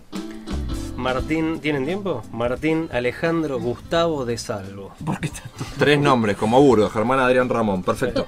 La edad de. ¿Cómo era? Recuérdamelo. Martín Alejandro Gustavo de Salvo. Bien, la edad de Martín Alejandro Gustavo. 41 mil añitos. 41, perfecto. ¿Barrio donde fue criado Martín o ha sido nómada en su infancia? Eh, el barrio donde más me crié fue La Paternal, Villa del Parque, La Paternal. Perfecto, de ahí vamos derecho al club de fútbol, ¿no? derecho, Argentina Junior, por supuesto. Que no está pasando el mejor momento. Recién ¿Viene, descendí. ¿Viene de ver el partido con Quilmes? Eh, no, no, ya está. Ya, Ya no, está, no, ya- no pude, no, no pude ni verlo. Es como ver a novia con otro. y- no, viste, pero bueno, es una semana, qué sé yo, maravillosa para mí. Tenía algo malo, me tenía que pasar. pero Fatídico, claro. Eh, ¿De religión tiene alguna? ¿No? Eh, No, no, medio que no. no, no, no, no, no, no. Alguna vez fui así, este, hinduista. por- o- o- ¿Para levantar una minita? No. Pone. Pone. Es lo que siempre se hace todo por. Bien, y acá, eh, peronismo. A full, viva Perón. Viva Perón, usted es netamente peronista. 100%. Pero uno que se la juega. En general, los directores. rubio peronista. Rubio peronista. Los directores nos dicen, no, bueno, no. No me quiero meter en la Esquivan la ola, ¿viste cuando saltás Y- la ola? Y, y en, y en esta situación actual, ¿cómo está? Fantástico, ¿cómo va a estar? Bueno. Mejor imposible. Mejor imposible, perfecto. Eh, película, o esto es un poco muy puntual, entonces eh, se abre hasta género favorito, película favorita, género favorito. Uf, qué difícil. Dos o tres películas. Difícil, difícil. Ahora vengo como un poco, este, em, como invadido, ya que estoy tanto con, con el lanzamiento de, de mi película, de, de- de Kubrick con su El Resplandor, Sí. eh, mucho Lynch. eh. Criaturas, Valeria, Criaturas de la Noche de Thomas Alfredson. Este, fue una de mis últimas películas Te venís favoritas. pegando un Julepe bárbaro, Sí. Abrazado a la almohada. Qué vengo un poco por ahí, sí, vengo un poco por ahí. Bueno, y la última pel- película, la última película, bueno, no. La última pregunta nos lleva a, a la competencia de esta mesa, que es el cine. ¿Por qué? O sea, ¿cómo llegas al cine? ¿Te gustaba de chico? ¿Te regalaron una película Sí. y te flasheó? No, la verdad. Una digo- mina también que te la querías levantar y No, bueno. no, bueno, sí, había esta cosa, de, viste, que, que, que dicen que se garcha mucho en el cine, entonces. Dicen. en la radio dicen que también. Fíjate acá, tenemos todas cara de Sí, no, no, no, no, mucho. chicos, no lo intenten en casa, no tiene sentido. No vale la pena. capaz sí. Estudien otra cosa que les sirva para Claro, que les dé plata. Vayan al boliche, mejor vayan al boliche. Digo, estudien ingeniería. Claro, bueno, eso seguro. Eh, no, me acerqué al cine así como casi sin darme cuenta de chico, sí, la verdad que eh, no, no puedo rastrear un comienzo, pero sí, me sentía como muy atraído por, por, por la tele, por el cine, por lo audiovisual básicamente, desde bastante chico. Y, mm, y sí, como sin saber muy bien, porque uno realmente cuando, cuando sos pendejo, tenés 13, 14 años, no tenés ni idea de cómo es esto de hacer cine, de verdad. Y, pero bueno, siempre fue mi pasión y me fui acercando de- tangencialmente, empecé a estudiar, dejé, volví a estudiar, dejé, empecé a trabajar, empecé a trabajar como reflectorista. Que tenías un reflector y ponía, vos. Ponía, ponía luces, ponía luces en, en comerciales y, y en películas, este, y así me fui acercando. Y de ahí pasé a la producción y de la producción pasé a la dirección. Así que recorrí un poco todas los, los- las áreas. Los vericuetos del Sí. cine. ¿Y cómo llegas a.? Al día El día trajo oscuridad, no, me estoy, el nombre es como muy. Hoy estábamos hablando mucho de realismo mágico y filosofía, me quedo, no, el día trajo la oscuridad, es Sí. casi. No, un oxímoron ahí, como el día trae la oscuridad. Sí, el día trae la claridad en general. Sí, no, ¿Cómo, se trajo llega? la oscuridad, sí. Eh, se llega a través de la guionista, Josefina Trota, con la que estábamos. Yo, digo, yo después de. Te trajo un guion que no te quería mostrar, algo así, no medio que ella no sí. quería. No, en realidad. Y vos fue- le dijiste, pero me estás no. No, no, yo venía, yo venía de, de- de leer tres guiones de ella porque nos habíamos conocido. Yo estaba buscando guiones. Siempre estoy como un poco abierto a que. A, a ver si tenés, pasame. Acá tenés. Este, y, y de casualidad, sí, fue después de. Nos pusimos a laburar una comedia bastante negra que tenía ella, que era, que, que era buena, que de hecho es un posible proyecto futuro. Para No- cine no lo también. descarto para cine. ¿Te sí. tiras la primicia? ¿Te estás jugando acá? No, no, no va a ser, no va a ser. Tengo otro, tengo otro que es- está más avanzado. después te Después, te, jugás. lo digo, después te lo digo. Y sí, así de casualidad, ella en realidad vio esta película que te digo, Criaturas de la Noche, no sé si la vieron, de Thomas Alfredson. Acá se estrenó, Sí, creo, sí. como Déjame entrar, ¿no? O, o Criaturas de la No, Noche. no, creo que era Criaturas de la Noche también. Bueno, y mm, nada, y me dijo, me encantó esa película, tenés que verla. La fui a ver, me partió la cabeza, me encantó. Y ahí ella tímidamente me dijo esto, de che, yo tengo... Tengo un acá de otras cosas". Tengo otro guion de, de vampiras. Digo, ¿y por qué no me lo pasaste nunca? No, porque no sé, vos, no sé si te gusta el género. Eh, no, no es que me guste o no me guste, digo, pero pasámelo. Y la verdad que cuando lo leí fue como eh, así, amor a primera vista. Tenía como la, la base estructural de lo que es la película hoy. Después trabajamos un montón, trabajamos con, con José, trabajamos un largo rato y después le incorporé a Mora Recalde también, que es la protagonista, a trabajar en la reescritura del guion y después le re- Ah. la incorporé también a Romina Paula, Que es la otra. que es la otra coprotagonista, que también es dramaturga, igual que Mora, a reescribir el guion con ellas. Eh, y recién después le dije a Romina si quería hacer el papel de, de Anabel, digamos. Una vez que habíamos reescrito de, de una manera más eh, tradicional, más de guion, más del todo, ¿no? Después laburamos como más puntualmente los diálogos y toda la cuestión. Así que llega un poco de casualidad.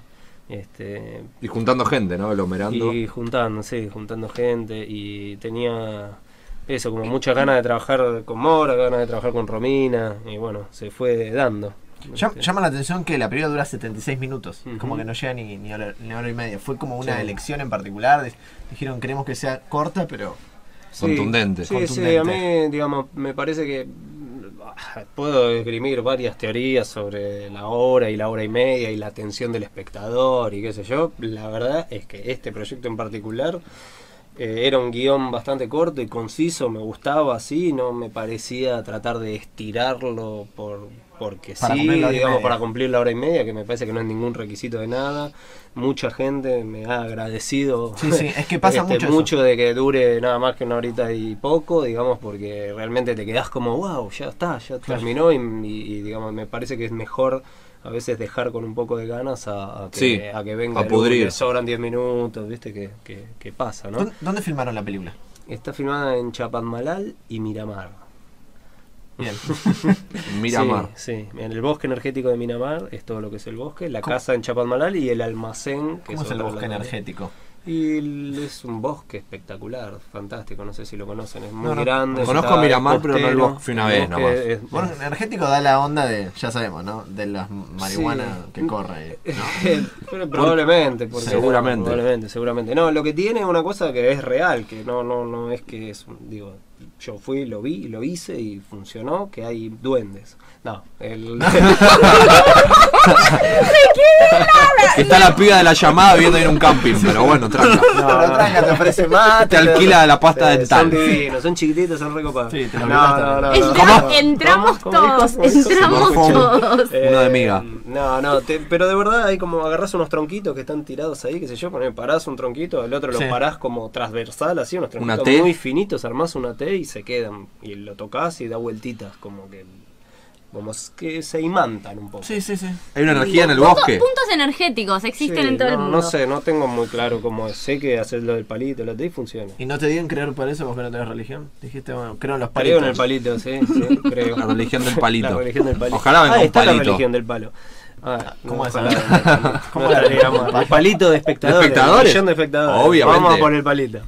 Bueno, ¿tiene, difícil, una expectativa acerca de la cantidad de espectadores? Porque no, ¿en cuántas salas se estrenó? Mm, de 13. En 13 salas. Sí, si querés te, después te las digo, Sí, porque sí. tengo acá el machete. Pero primero decinos Decírtelo. de qué, porque estamos sondeando, pero de, de No, qué de trata se la trata peli- no te voy a contar. Nada, vayan a verla. ni un poquito, verla. pero Pero para- para, para, el, para Mira, el hay una- oyente. para el, el oyente puede estar ya ahora con su computadora este, En el tráiler. en el buscando el tráiler, puede estar buscando un montón de notas, sinopsis, todo eso. Nada, si quieren les cuento someramente Sí, porque sí, digamos, brevemente. No vamos a. Queremos la no, versión del director. La, la idea, no cualquiera nos cuenta de qué va no, la película. La idea es que, que, que vayan, la vean y se encuentren.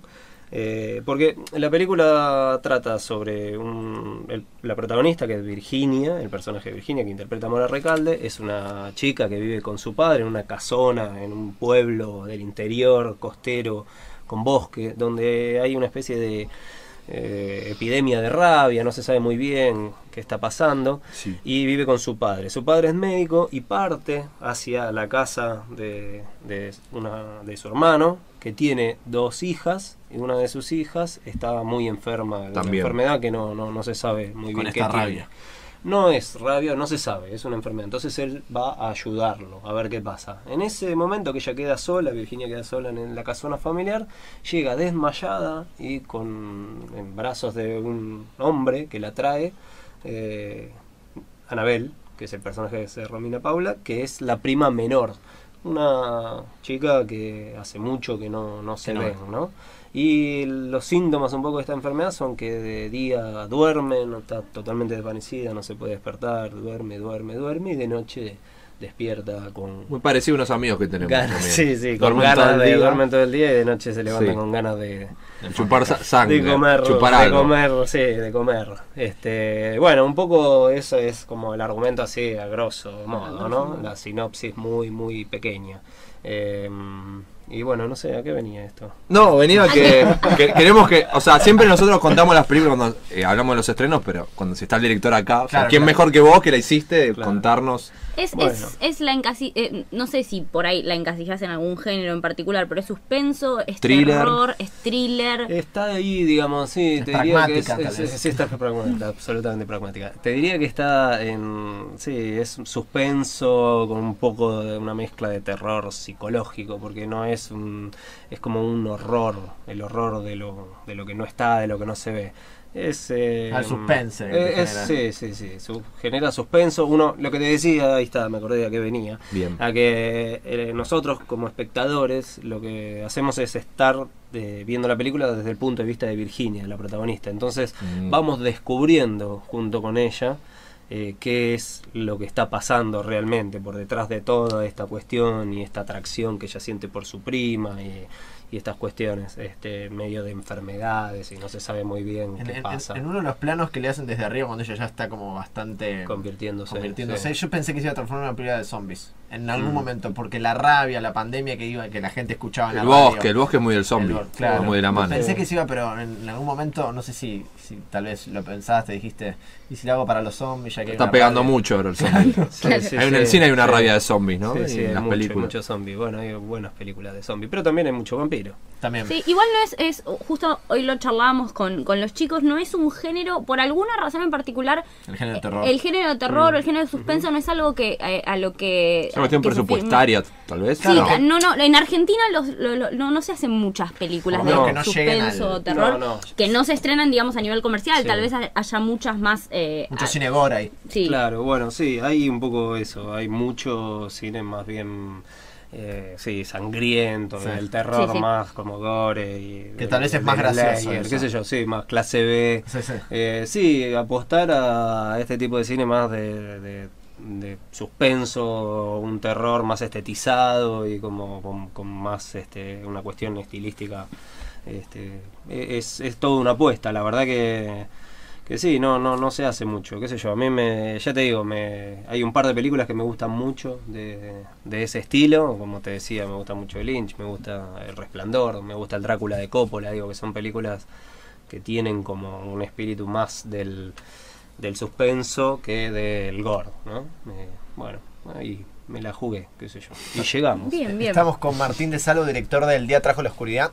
Perdón. No, está bien. Y tengo que después evacuar el parripollo. No, está bien, para mí con papas no hacer, puede ser. Una horita. Eh, director del El Día Trajo la Oscuridad, el estreno, uno de los estrenos argentinos de la semana que se estrena en 13 salas, me dijiste. Sí. En 13 salas. ¿Cómo fue eh, el, el proceso de filmación? ¿Cuánto duró exactamente? El rodaje en sí mismo fueron cinco semanas. ¿Cinco semanas? Cinco semanas, sí. ¿Y cómo fue el trato con la gente durante esos cinco semanas como director? Estuvo, estuvo buenísimo porque armamos un equipo, la verdad que un equipo fantástico. De buena Eh, gente, tenés que decir. Buena gente, en Sí, serio. No se pelearon con nadie. Eh, no hubo que siempre hay Ah, alguna no. discusión, algún quilombo, siempre hay. ¿Quiere contar un poco de eso? Nosotros Este, vivimos un poco de la mierda también. No, no, no, la verdad que no, no, nada, nada, en serio, de verdad, nada demasiado grave, si no, no tendría ningún problema de, de contarlo. Este, la verdad que, que muy buena gente, muy comprometida con el, con el proyecto. No le quedaba otra tampoco que estar comprometida, porque nos fuimos cinco semanas a, un a un hotel en Chapadmalal, Qué lindo. todo el equipo, en pleno invierno. No había nada más que hacer que filmar la película y Había cuando gente volvíamos, viste, era jugar al ping pong, comer, tomarse una cervecita, un vinito. ¿Gente soltera nada más. Eh, se han formado parejas. Había- se- se hacía mucho el amor. Se han formado, se han, se han- Usted arrancó diciendo que en el Roberto cine Galán. Sí, sí, sí, viste, al Se final, emparcha sí, mucho, Se han formado parejas y se han eh, creado, criado niños. Salen Ah, cosas. Se han con, sí, creado, ¿se dice? Ah, bueno, Sí. pero es una película. Bueno, Ah, es una película- Engendrado. Sí, sí, se ha engendrado. Miedo. Se han Engendraron engendrado criaturas. criaturas, no solo de la noche. bípedas, de alguna manera. Bueno, bueno. Sí, sí, de todo, de todo ha pasado. Pero muy bien, todo muy lindo, con mucho amor. Sí, sí, sí. Bien, estamos acá en la revista que nos trajeron esta semana de directores. Nos dijo que. Nos dijo, miren, les dijimos, ¿querés una revista? Y dijo, no, sabes que la tengo y estoy, de hecho. Y dirigió la versión de Amas de Casa Desesperada. ¿Cómo fue Así eso? Que es, me interesa mucho. es. Pero para acá, ¿no. Para Latinoamérica. No. Salvo la de acá, eh, dirigí la versión para Igual- Brasil, la, la versión para Venezuela, Colombia y Ecuador, la Pero, versión ¿usted ¿Cuál es- para en portugués? Estados Unidos, sí, por supuesto, Ah, Muy porque si no era complicado dirigir a un. y la versión para Estados Unidos latino. ¿Podemos preguntar cuáles estaban más buenas? ¿O podemos preguntar sobre el argumento que mucho Mirá, no nos vendría a interesar? Pero podemos preguntar también. En- y a ver, te digo, entre Sonia Braga, que una hermosa. No conozco. Diga, La voy a googlear ahora mismo. Ya la estoy Sonia googleando. Braga, la de Doña Flor y sus dos maridos. Un, Sí, sí, sí. Ah. un símbolo sexual de. Sí, sí, sí, sí. Plotetic. Sí, sí, sí. Y qué sé sí. yo. Digo, no, no, había, había, había lindas, lindas actrices, muy lindas Pero, actrices. pero ¿cómo fue la experiencia de filmar varias veces Ama de Casa Eh, Desesperada? muy, como- muy bizarra, muy, sí, muy rara fue. Pero porque te enfrentabas a un montón de culturas también. Era como. Sí, filmás el- la pero- verdad, perdón, eh, pero el, el mismo capítulo que filmabas en Brasil era el mismo que filmabas en Venezuela o había una, una se adaptación filmó todo grande. acá. Se filmó, filmó todo acá en unos estudios Todo que se acá en unos armaron acá. estudios gigantes que se armaron en Pilar. Se hizo la misma Sí, calle sí. que estaba ahí con nueve casas, con sus nueve decorados Bien ahí. adentro. y qué sé yo. Era cuando Argentina era más Había barato para dos- filmar. Exactamente. Había dos unidades, una unidad que hacía exteriores y una unidad que hacía todo lo que pasaba en Wisteria Lane. Y esa unidad que hacía todo lo que pasaba en Wisteria Lane la dirigía yo. Y sí, era filmar el mismo capítulo 1, 2, 3, 4, 5, 6, 7, 8, 9, Sí. así, Uf. los 13 mismos capítulos toda la temporada. En el mismo lugar. Para, en el mismo, sí, para el país. Este, con actores de allá. Y los secundarios traían acá y laburaban un poco más en neutro. O laburaban en portugués, en la, en la versión brasilera. Este, y los doblaban algunos y no quedaba bien. Sí. Y bueno, había que cambiar obviamente toda la señalética del lugar. Claro, hay que adaptarla a Pasarla cada del país. castellano al portugués, después pasarla al inglés para el Estados Unidos. Y hacer Pero- de cuenta que estábamos en San Pablo y hacer de cuenta que estábamos en Miami. Ah, pero era con los mismos actores, no es que se No, filmaba. no, no, No, no, todo no. elenco distinto. Elenco para, fueron- elenco para Venezuela, Colombia y Ecuador era uno. Por eso te elenco para Brasil era otro. Y elenco para ¿Y cuánto Estados Unidos ese- era otro. y eran cuatro meses por cuatro meses de rodaje Por cada. por los 13 capítulos de cada temporada. O sea, yo estuve dos años haciendo eso. Ah, pero te volviste loco. vida. Nunca más en tu vida viste. a Por eso después saliste con Por un thriller. supuesto No que quisiste hacer no, nunca más. Nunca más quiero hacer una cosa así. No. ¿Pero vos eras, eras fanático de la serie? En lo más mínimo. Lo- ¿Quién puede ser fanático de esa serie? No, era una serie. No, Tuvo no, mucho rating. Tuvo mucho rating. No, No para ser fanático, no. pero era una casa que. Una casa, iba a decir, una serie que estaba bastante. Bueno, pero volvemos. con- No me- pero Martín mucho vino por Yo una por película. El día trajo la El día trajo la oscuridad, que la gente la tiene que ir a ver este fin de semana, sería Sí, fundamental. ¿Dónde la puede ir a ver? Más o menos en- acá. Te voy Busquen en el diciendo, celular, te lo digo, mirá, celular ya está, te lo digo así como Un par de bastante. cines, no todos. No, te lo digo todo rápido, Cinemark Palermo, Puerto Madero, Village Recoleta, Cinema Devoto, Espacio Inca, eh, Gomón de Espacio Inca, Acá en Arte. Cinema, sí, eh, Centro Cultural General San Martín, Hoyt Dot, Cinema City en La Plata, eh, en Factory Quilmes, Hoyt Factory Quilmes, Hoyt Unicenter, Showcase Cinema Edo y Village Avellaneda. Bueno, bien, un Bastante. montón de opciones. Sí, varias sí. en shopping Un para que si de la gente quiere ir a comer y ver la película. Y a ir. consumir y a evadirse, Todos puede los ir. shopping que estuvieron ayer cerrados, que hoy ya abren, pueden empezar a ¿Saben invadir los shopping. Nos viene pasando con los estrenos argentinos que la, la reman, la reman, la reman. El, con Gato Negro, el, el paro de camiones. Después paro Semana de- Santa, ahora eh, Día del Trabajador. Bueno, Día de Trabajador, bueno, no es. Día de Trabajador, quiero contar una cosa que es una pavada, pero ver. el Día de Trabajador en la función de las 11 y 20 de la mañana en el, en el Cinemark Palermo Sí. fueron dos personas. No. A mí me parece un milagro que sí, hayan sí, ido es dos personas a ver gente. cine argentino de terror a las 11 y 20 De de, la no mañana. no la- había nadie en la calle, era increíble. Sí, sí. Capaz venían de dar una Había vueltita. Puede una- ser. Una- al- Para rumbiemos mí al sí, cine. Para mí sí. Igual, bueno, si están escuchando este programa y, y lo escuchan, llamen. llamen ¿quieren grabar un separador? sí. Si están escuchando este programa sin subtítulos y fueron el primero de, de mayo al cine a ver El Día Trajo en la Oscuridad, llámenme que les doy un abrazo. Bien, y nosotros creo que esta es la mejor forma de cerrar, porque tenemos al director de la película mandando amor a la gente, que es lo que solemos hacer en este Amor programa. y peronismo. Mandar mu- la fuerza del amor. Exactamente, acá también tenemos. a- El amor más que lo después. sorteamos entradas de Gato Negro esta Ah, semana, mirá. otra vez. Eh, y no, ¿por qué no sortearon ¿Y de quiere- quiere dar ¿Quiere darnos? Y pero no, ah, pensé que la producción. Puede dejar la remera. La producción de mi película, pensé que habían traído. Bueno, Eh, no, tenemos los ganadores. Los jefes de prensa. Los jefes de prensa no, no están digamos, llegando. Ah, Eh, los ganadores son, Pérez, que tengo que decir esto muy claro. Carolina Frane, con una H en el medio de la A y la N, Frane. Puede ver Gato Negro, andate a ver el día trajo la oscuridad. y Ana Julia Jaime, que el niño tiene sed y no hay naranja, eh, son los ganadores de las dos pares de entradas para Gato Negro. Sí, que no se olviden que es para la función de las 11 de la noche mañana en el Abasto. Pásenla a buscar por la radio a partir de las 6 de la tarde hay gente ya, ¿no, Nati? Sí. Lo piensa, Lo piensa, tranquila, piensa, lo está pensando. Tienen programación mañana a las 6 de la tarde. Carolina y Ana Julia pueden ir a un- una cita con un muchacho, con una muchacha, con lo que quiera, o con el perro si quiere ir. Si me ser. quieren invitar, yo mañana no tengo ningún plan, podemos ir hasta los tres. Y, vamos lo- los cuatro. y el director de acá de El Sí. Día Trajo la Oscuridad nos puede acercar entradas y las sorteamos Obviamente, sin problema. estamos abiertos. Vamos a hacerlo, y quédate, Martín, que viene una, una columna que nos gusta mucho. ¿Quieren hacer los estrenos ahora? Yo si quieren seguimos. Porque le- te- y 53 en el guion hay que empezar con los estrenos, así que estamos perfectos. Productor, ¿cómo estamos de tiempo, productor? Bueno, si tenías ganas, todo bien, no, no te molestamos. Enoja, tira papeles. Sí, no. Esta, esta semana hay, hay varios estrenos. Yo me quería concentrar en un par para no ocupar tanto tiempo. El principal es El Día Trajo la Oscuridad. El El principal, principal, sí. que Que ya es- dijimos Es todo. el estreno sin subtítulos de la ver. semana, vayan a verlo. El primer fin de semana es el más importante. Pero además, vayan, vayan. Vayan. Y además otras películas que vamos a mencionar así ¿Puede ser que someramente. vos haces favores sexuales para la gente que va? Sí, por supuesto. Por supuesto. Todo lo que cosa. necesiten. ¿Te das droga también? Eh, no. Ah, eso es más Esa caro. es para mí. Claro.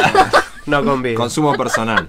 Bueno, es de siempre que me entera la gente. Bueno, después, estreno de la semana está Casi un Gigoló. Usted dice que es Casi un Gigoló, parece una película de... Casi un gigoló. Claro, de. Mocha Bacano. ¿Qué le pasa a Martín? ¿Quiere decir No, algo? no, no, nada, nada. No Hagamos tengo una nada, cosa. no tengo nada contra las mainstream Yo digo algo, yo digo un estreno y usted dice lo otro. Una palabra. Usted dice una palabra. Que es la película de John, como dije, Turturro. Que ¿Cómo? Turturro. Vio que volvió el oso Arturo, pero como hay conflicto con Telefe, se llama el oso Arturro. Es una cosa hermosa. Es pero para transárselo al oso. Que llegó y tenía que bailar y se empezó a agarrar a piñas y no bailó. Es poético lo, de, lo del cabeza, el sabeca de Bolívar es, es poético. Bueno, por favor, siga. Bueno, yo ya después de esto- Turturro, ¿cómo era? John Turturro, que es este actor italiano que hizo varias películas, pero que en esta faceta está tenía un director. ¿Y sabe frigobar. quién está dirigiendo? A, a Woody Allen. Woody Allen que Bien. siempre es director. Pero él veces- actuaba muchas de sus películas. Sí, a veces hace de actor, me mató recién con el grito que pegó. Disculpame. Eh, que a veces hace de actor, pero en este caso solo, solo actúa. ¿Y sabe quién está también? Eh, su ex, Sofía Vergara. Sí. Vergara. Que, ¿Cómo? que hace como de una especie de señorita en busca de sexo. Sofía Vergara era la, eh, la ama Ama de casa casa desesperada. Claro. claro. Ah, estaba también. Porque todo- en la versión de Univision. Todo tiene que ver Tuve con todo. Perdón, ¿y le puedo preguntar cómo es en vivo? Sí, Porque me enter- puede preguntar. ¿Cómo, cómo es en vivo? es un espectáculo. Es para ir a verla al cine. Está ¿no? para ir a decir, para bueno, verla. paramos cinco minutos verla. que yo me voy a masturbar al baño. No, no, no. Medio sacadeli, ¿no? Bueno, entonces, eh, Bueno, casi un gigoló. Básicamente es una historia muy real. A ver. bien. Son dos personas que no tienen plata. Para y- Woody ¿se Sofía Vergara? No, no, no. Ah, Eh, es me John voy. Turturro, se la- el director, bueno, el director sé que tiene que morfar la más linda, entonces Sí. lo hace. Hizo el guion y lo hace así. actor también, Porque, claro. exactamente. Eh, y lo que hacen es, no tienen plata y dicen, bueno, vamos a meternos en el negocio de la prostitución. Bien ahí. Woody hace de proxeneta y John Turturro hace de el prostituido. Por eso casi un gigoló. Casi un gigolo, exactamente. Eh, este- en esta película también está eh, Sharon Stone, que en un momento hacen un trío con Sofía Vergara. Esto es un dato que tengo para que la Espectáculo, gente la- espectáculo. la ¿Quién? Sharon Stone y Sofía Vergara. Sí, sí. Che, ¿Se en- puede en poner mi película Romina Paula y, y Mona Recalde casi se- se, se besan. En una de esas se tocan una teta. Capaz que hay. No, muy, sé. muy linda la protagonista también. Bueno, muchas gracias. Sí, bueno. Después están los Muppets 2.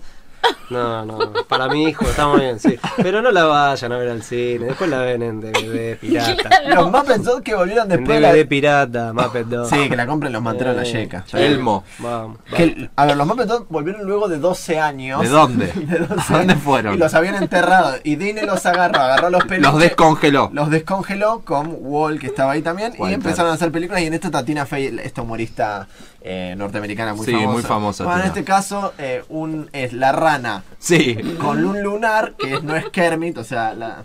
Nada, es el enemigo. O sea, hay dos ranas René, una que tiene un lunar y se enfrentan. La rana sin micrófono. Pelotudez. No, pero muy lindo para los chicos. ¿Por qué dice eso? Bueno, ¿qué más hay? A ver. tamaño de un camión. Y luego está Rick Mason. ¿Cómo? Por favor, el inglés. Es muy bueno. Es así como se dice, mira. Brick man- Mansions. ¿Es No, de mansions? mansions. ¿Mansions de qué? Que es como ladrillos de la mansión, algo así. Como Tenemos que- un, productor, un productor traductor que por favor nos ilumine acá. Brick Mansions. Gracias. Bueno, que está, Dios. es hermoso. Es medio gay. Debería ser locutor. Lo quería chupar el micrófono en un momento, pero bueno, se acercó tanto que. Sí. Brick Bueno, Mason, que es- está Paul Walker. Sí, que está, exactamente, que es la película Pobre. de Paul Walker. Viste que sigue sacando, parece lo, lo chalchalero que A sigue- lo Van Gogh, sigue Sí. facturando después de Sigue muerto. sacando los Beatles, siguen sacando discos. De Mercury Michael sigue Jackson también. discos también. Bueno, ¿Lo este también sigue sacando películas una vez que se ¿Digital murió. lo? Sí, lo hicieron digital. No, esta es la última, Y la- este es en el póstuma. 2018, Esta es la corrupción está por todos lados, entonces hacen un muy, muy A ver, ¿qué Estados hace? Unidos Un muro. para evitar que pasen los ladrones. Y esto es básicamente el, lo que son los estrenos de la semana y el día que trajo la oscuridad, que es la película favorita de nuestra programa. ¿Mora. ¿Mora Recalde algo que ver con Martín? ¿No?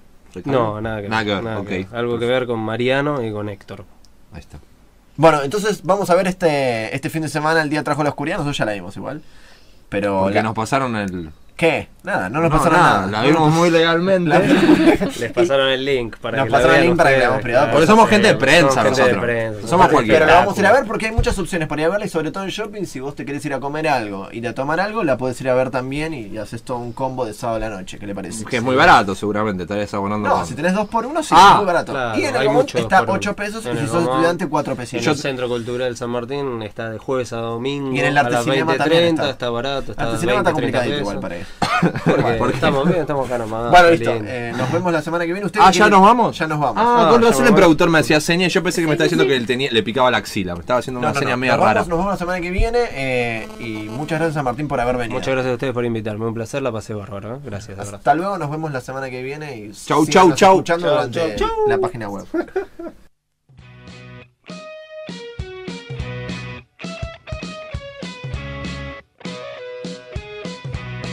Esto fue Sin Subtítulos, la gran estafa de People Producciones.